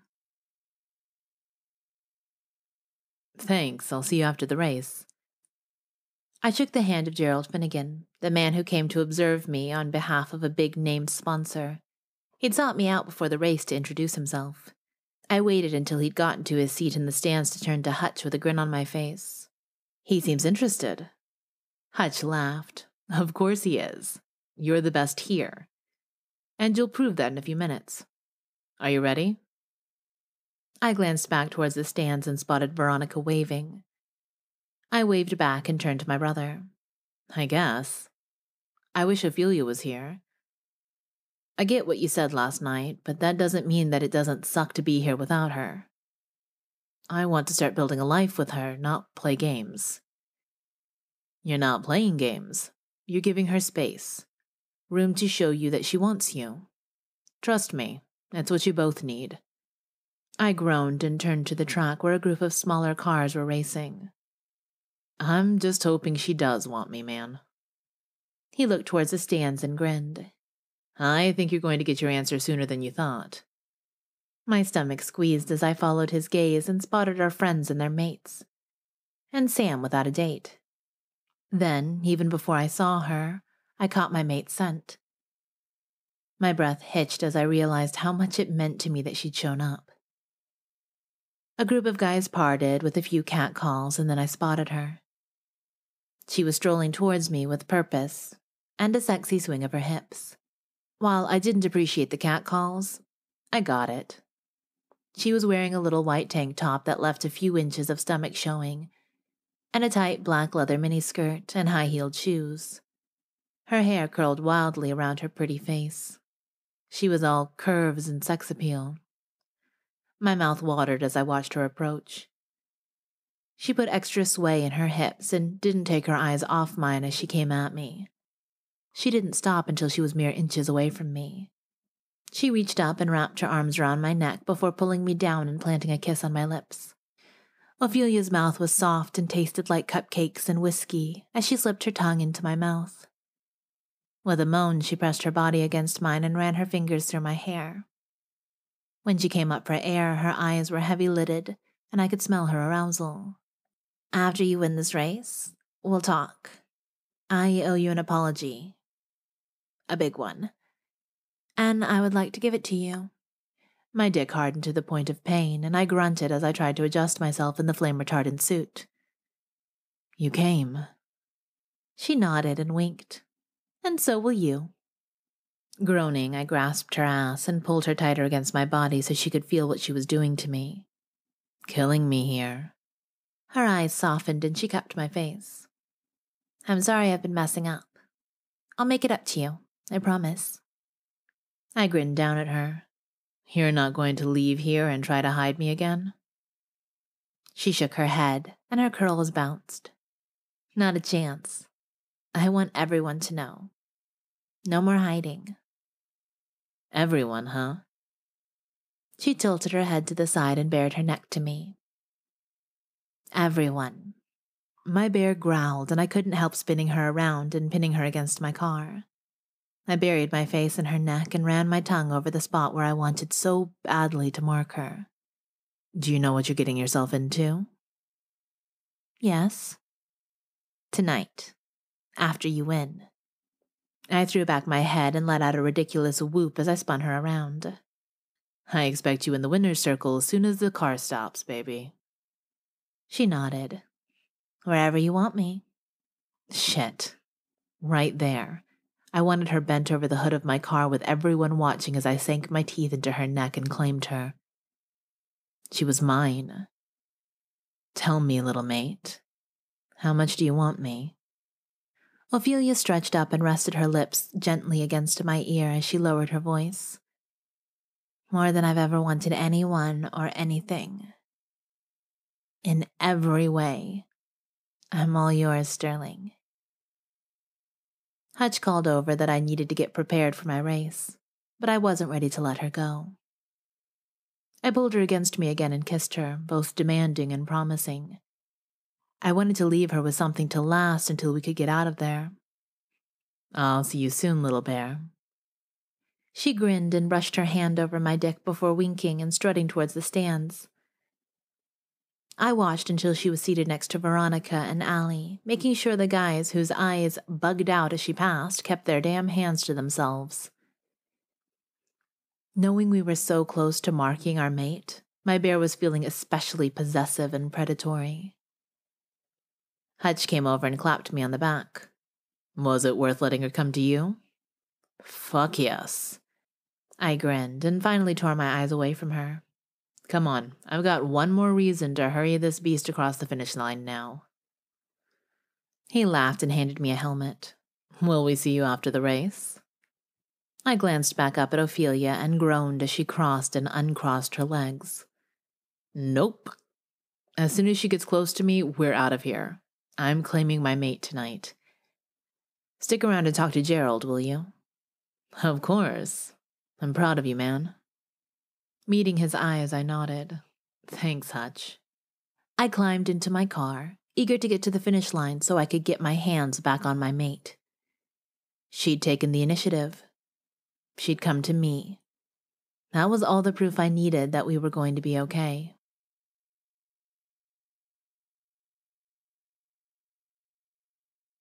Chapter 25 Ophelia My heart threatened to pound right out of my rib cage during the race.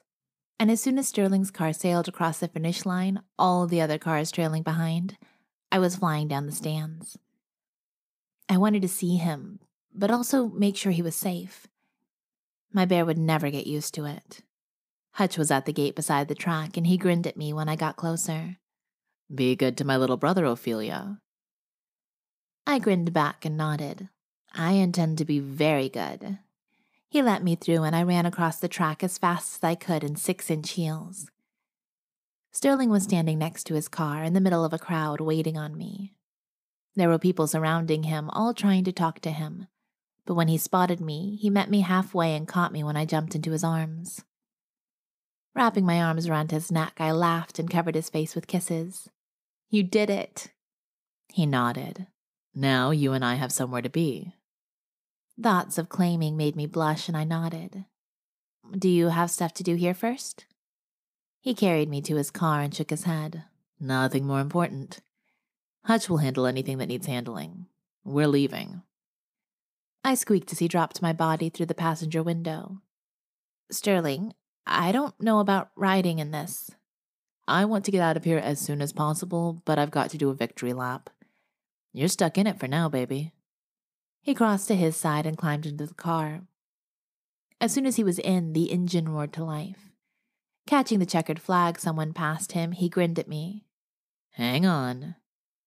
I laughed as he drove back onto the track and then raced around it. Screaming, I couldn't hide the excitement. Sterling, this is crazy.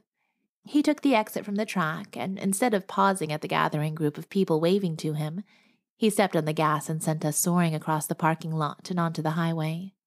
My heartbeat was wildly erratic as we drove away from the track, anticipating what was coming, feeling the speed and the wind whip through the car, knowing how much he wanted me.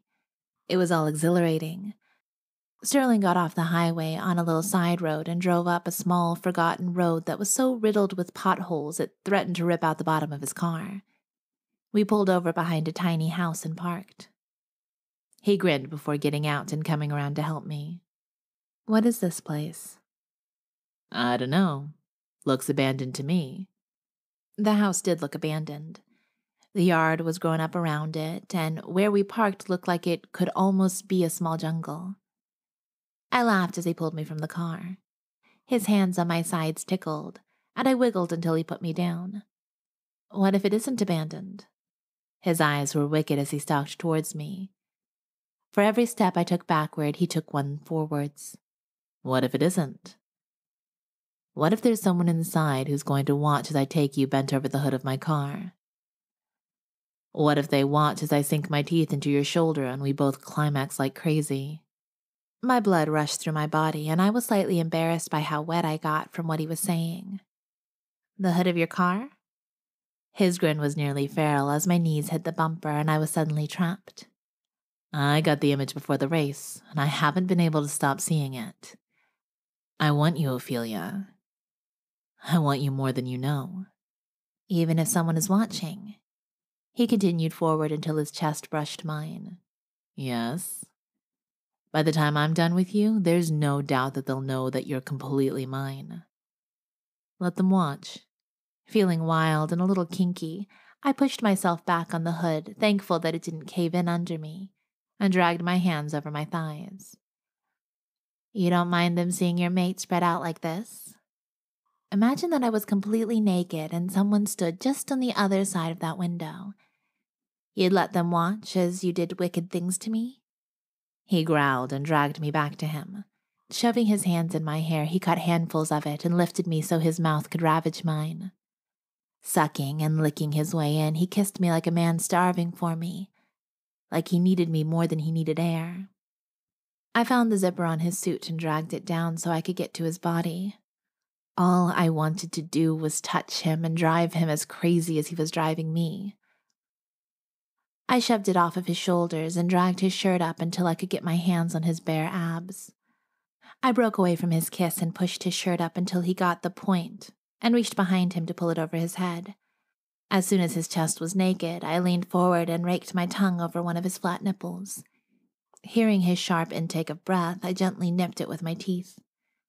I slid off the hood and sank to my knees in front of him, my hands going to his pants immediately. Let John Wayne loose, Sterling. Now. He worked down the suit and then helped me push his pants down too. When just his boxers separated us, he growled and caught my hair again. Ophelia. I grinned up at him before pushing his boxers down. His hard dick sprang up in front of me, and I licked my lips. I'd never enjoyed going down on a guy until Sterling. Something about my mate made it hot as hell and fueled me to try to make it the best blowjob he'd ever had. I told you I owed you an apology. I took him in my hand and stuck my tongue out gently tapping the head of his dick. Fuck yes.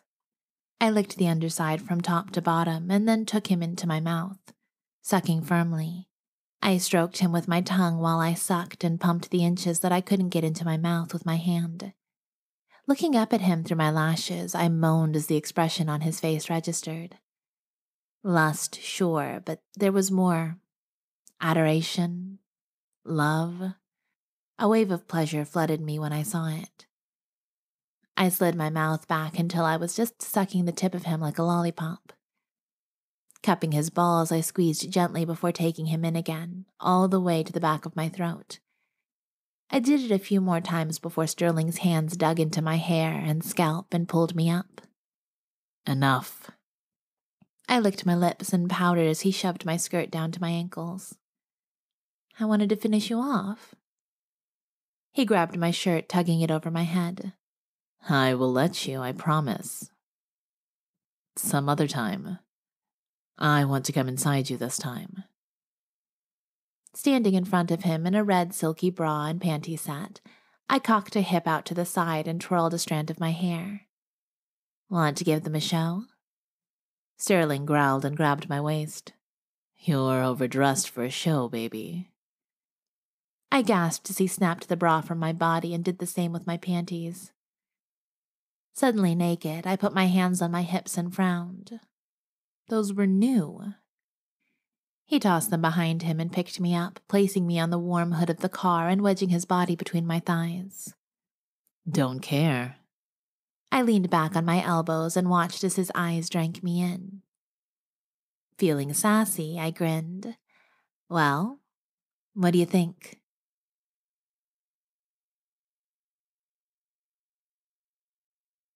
Chapter 26 Sterling. Feeling like a man who just won the million dollar lottery, I dropped to my knees and stared up at her. Her core glistened and called to me, begging to be tasted. I kissed my way up her legs, paying special attention to the spot behind her knees that made her moan. When I got to her inner thighs, she shook under me. I wanted to tease her more and make her wait, but I was too on edge. I licked her delicious hmm. pussy and growled as she filled my taste buds. Sweet and mine. Ophelia cried out, running her fingers through my hair, tugging my head to where she wanted it. I spread her folds with my fingers and found her clit with my tongue, suctioning my lips around it. My cock jerked as she screamed my name. I slid a finger into her hot center and curled it, stroking the bundle of nerves that I knew set her off. Her body bucked under me, but I kept my mouth on her, pushing another finger into her.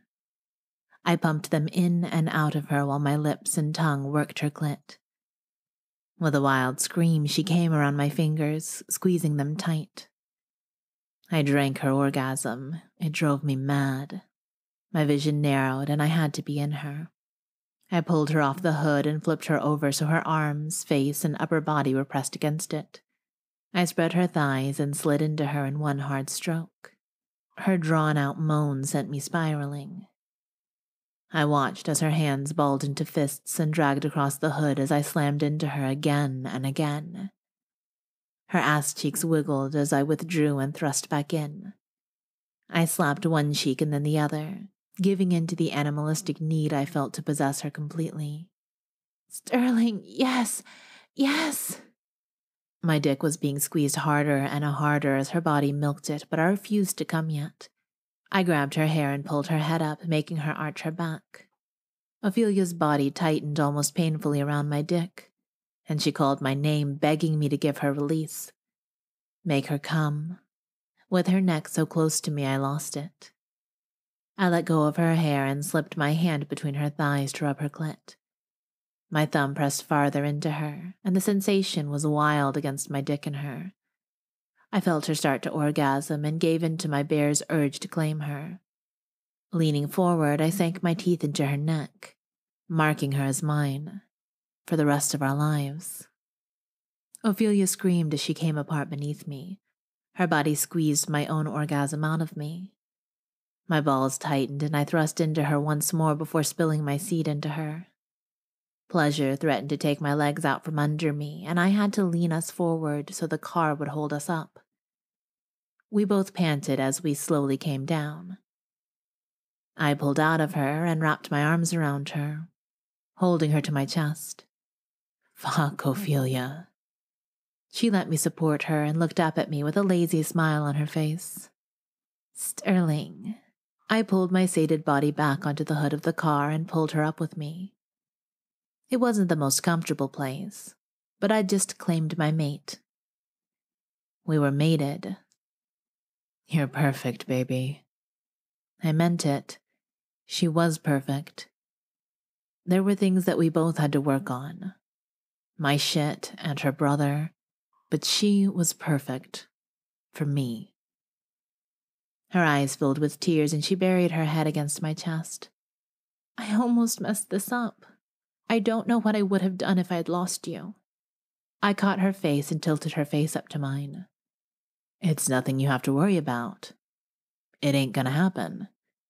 You are mine, and I'm yours. Forever.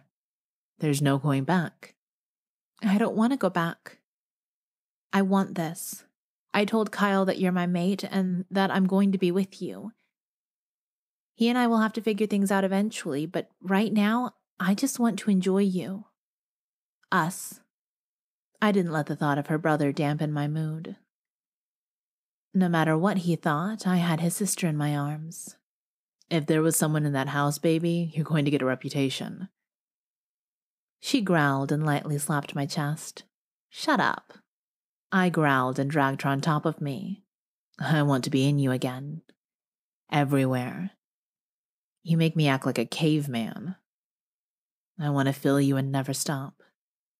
She moved and rubbed against my already hardening dick. Sounds good to me. I want everything. You make me so crazy, Sterling. Is it always going to be like this? I nodded. Yeah, little bear. Even when we're old and gray, I'm still going to be chasing this perfect tail around. She laughed and sat up, baring her breasts to me. Cupping them in her hands, she rocked herself against my dick. We should stop talking. Plenty of time for that later. I nodded through a groan. Sure.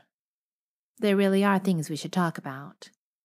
I grabbed her hips and lifted her so I could thrust into her again. Later. One thing at a time, and this is more important right now. We're putting on a show, remember? We wouldn't want some hermit in the house over there to get bored. Don't want him telling people we're lame in the sack. Her eyes widened and moved to the house, but her walls tightened around me as a fresh wave of wetness coated me. My little mate was kinky. Ride me, Ophelia. Show him how much you want me. As her body rocked against mine, taking us both higher and higher, I took a second to look towards the sky and thanked the heavens for giving me the sexy bear shifter on top of me. We'd figure out everything else in due time. For tonight, we were going to be as wild as two newly mated shifters could be. The two of us finally being together deserved a celebration. The end.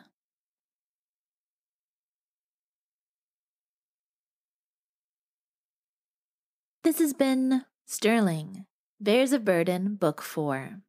Written by Candace Ayers. Narrated by R.J. Crichton. Copyright 2018 by Lovestruck Romance Publishing. Production copyright 2018 by Lovestruck Romance Publishing.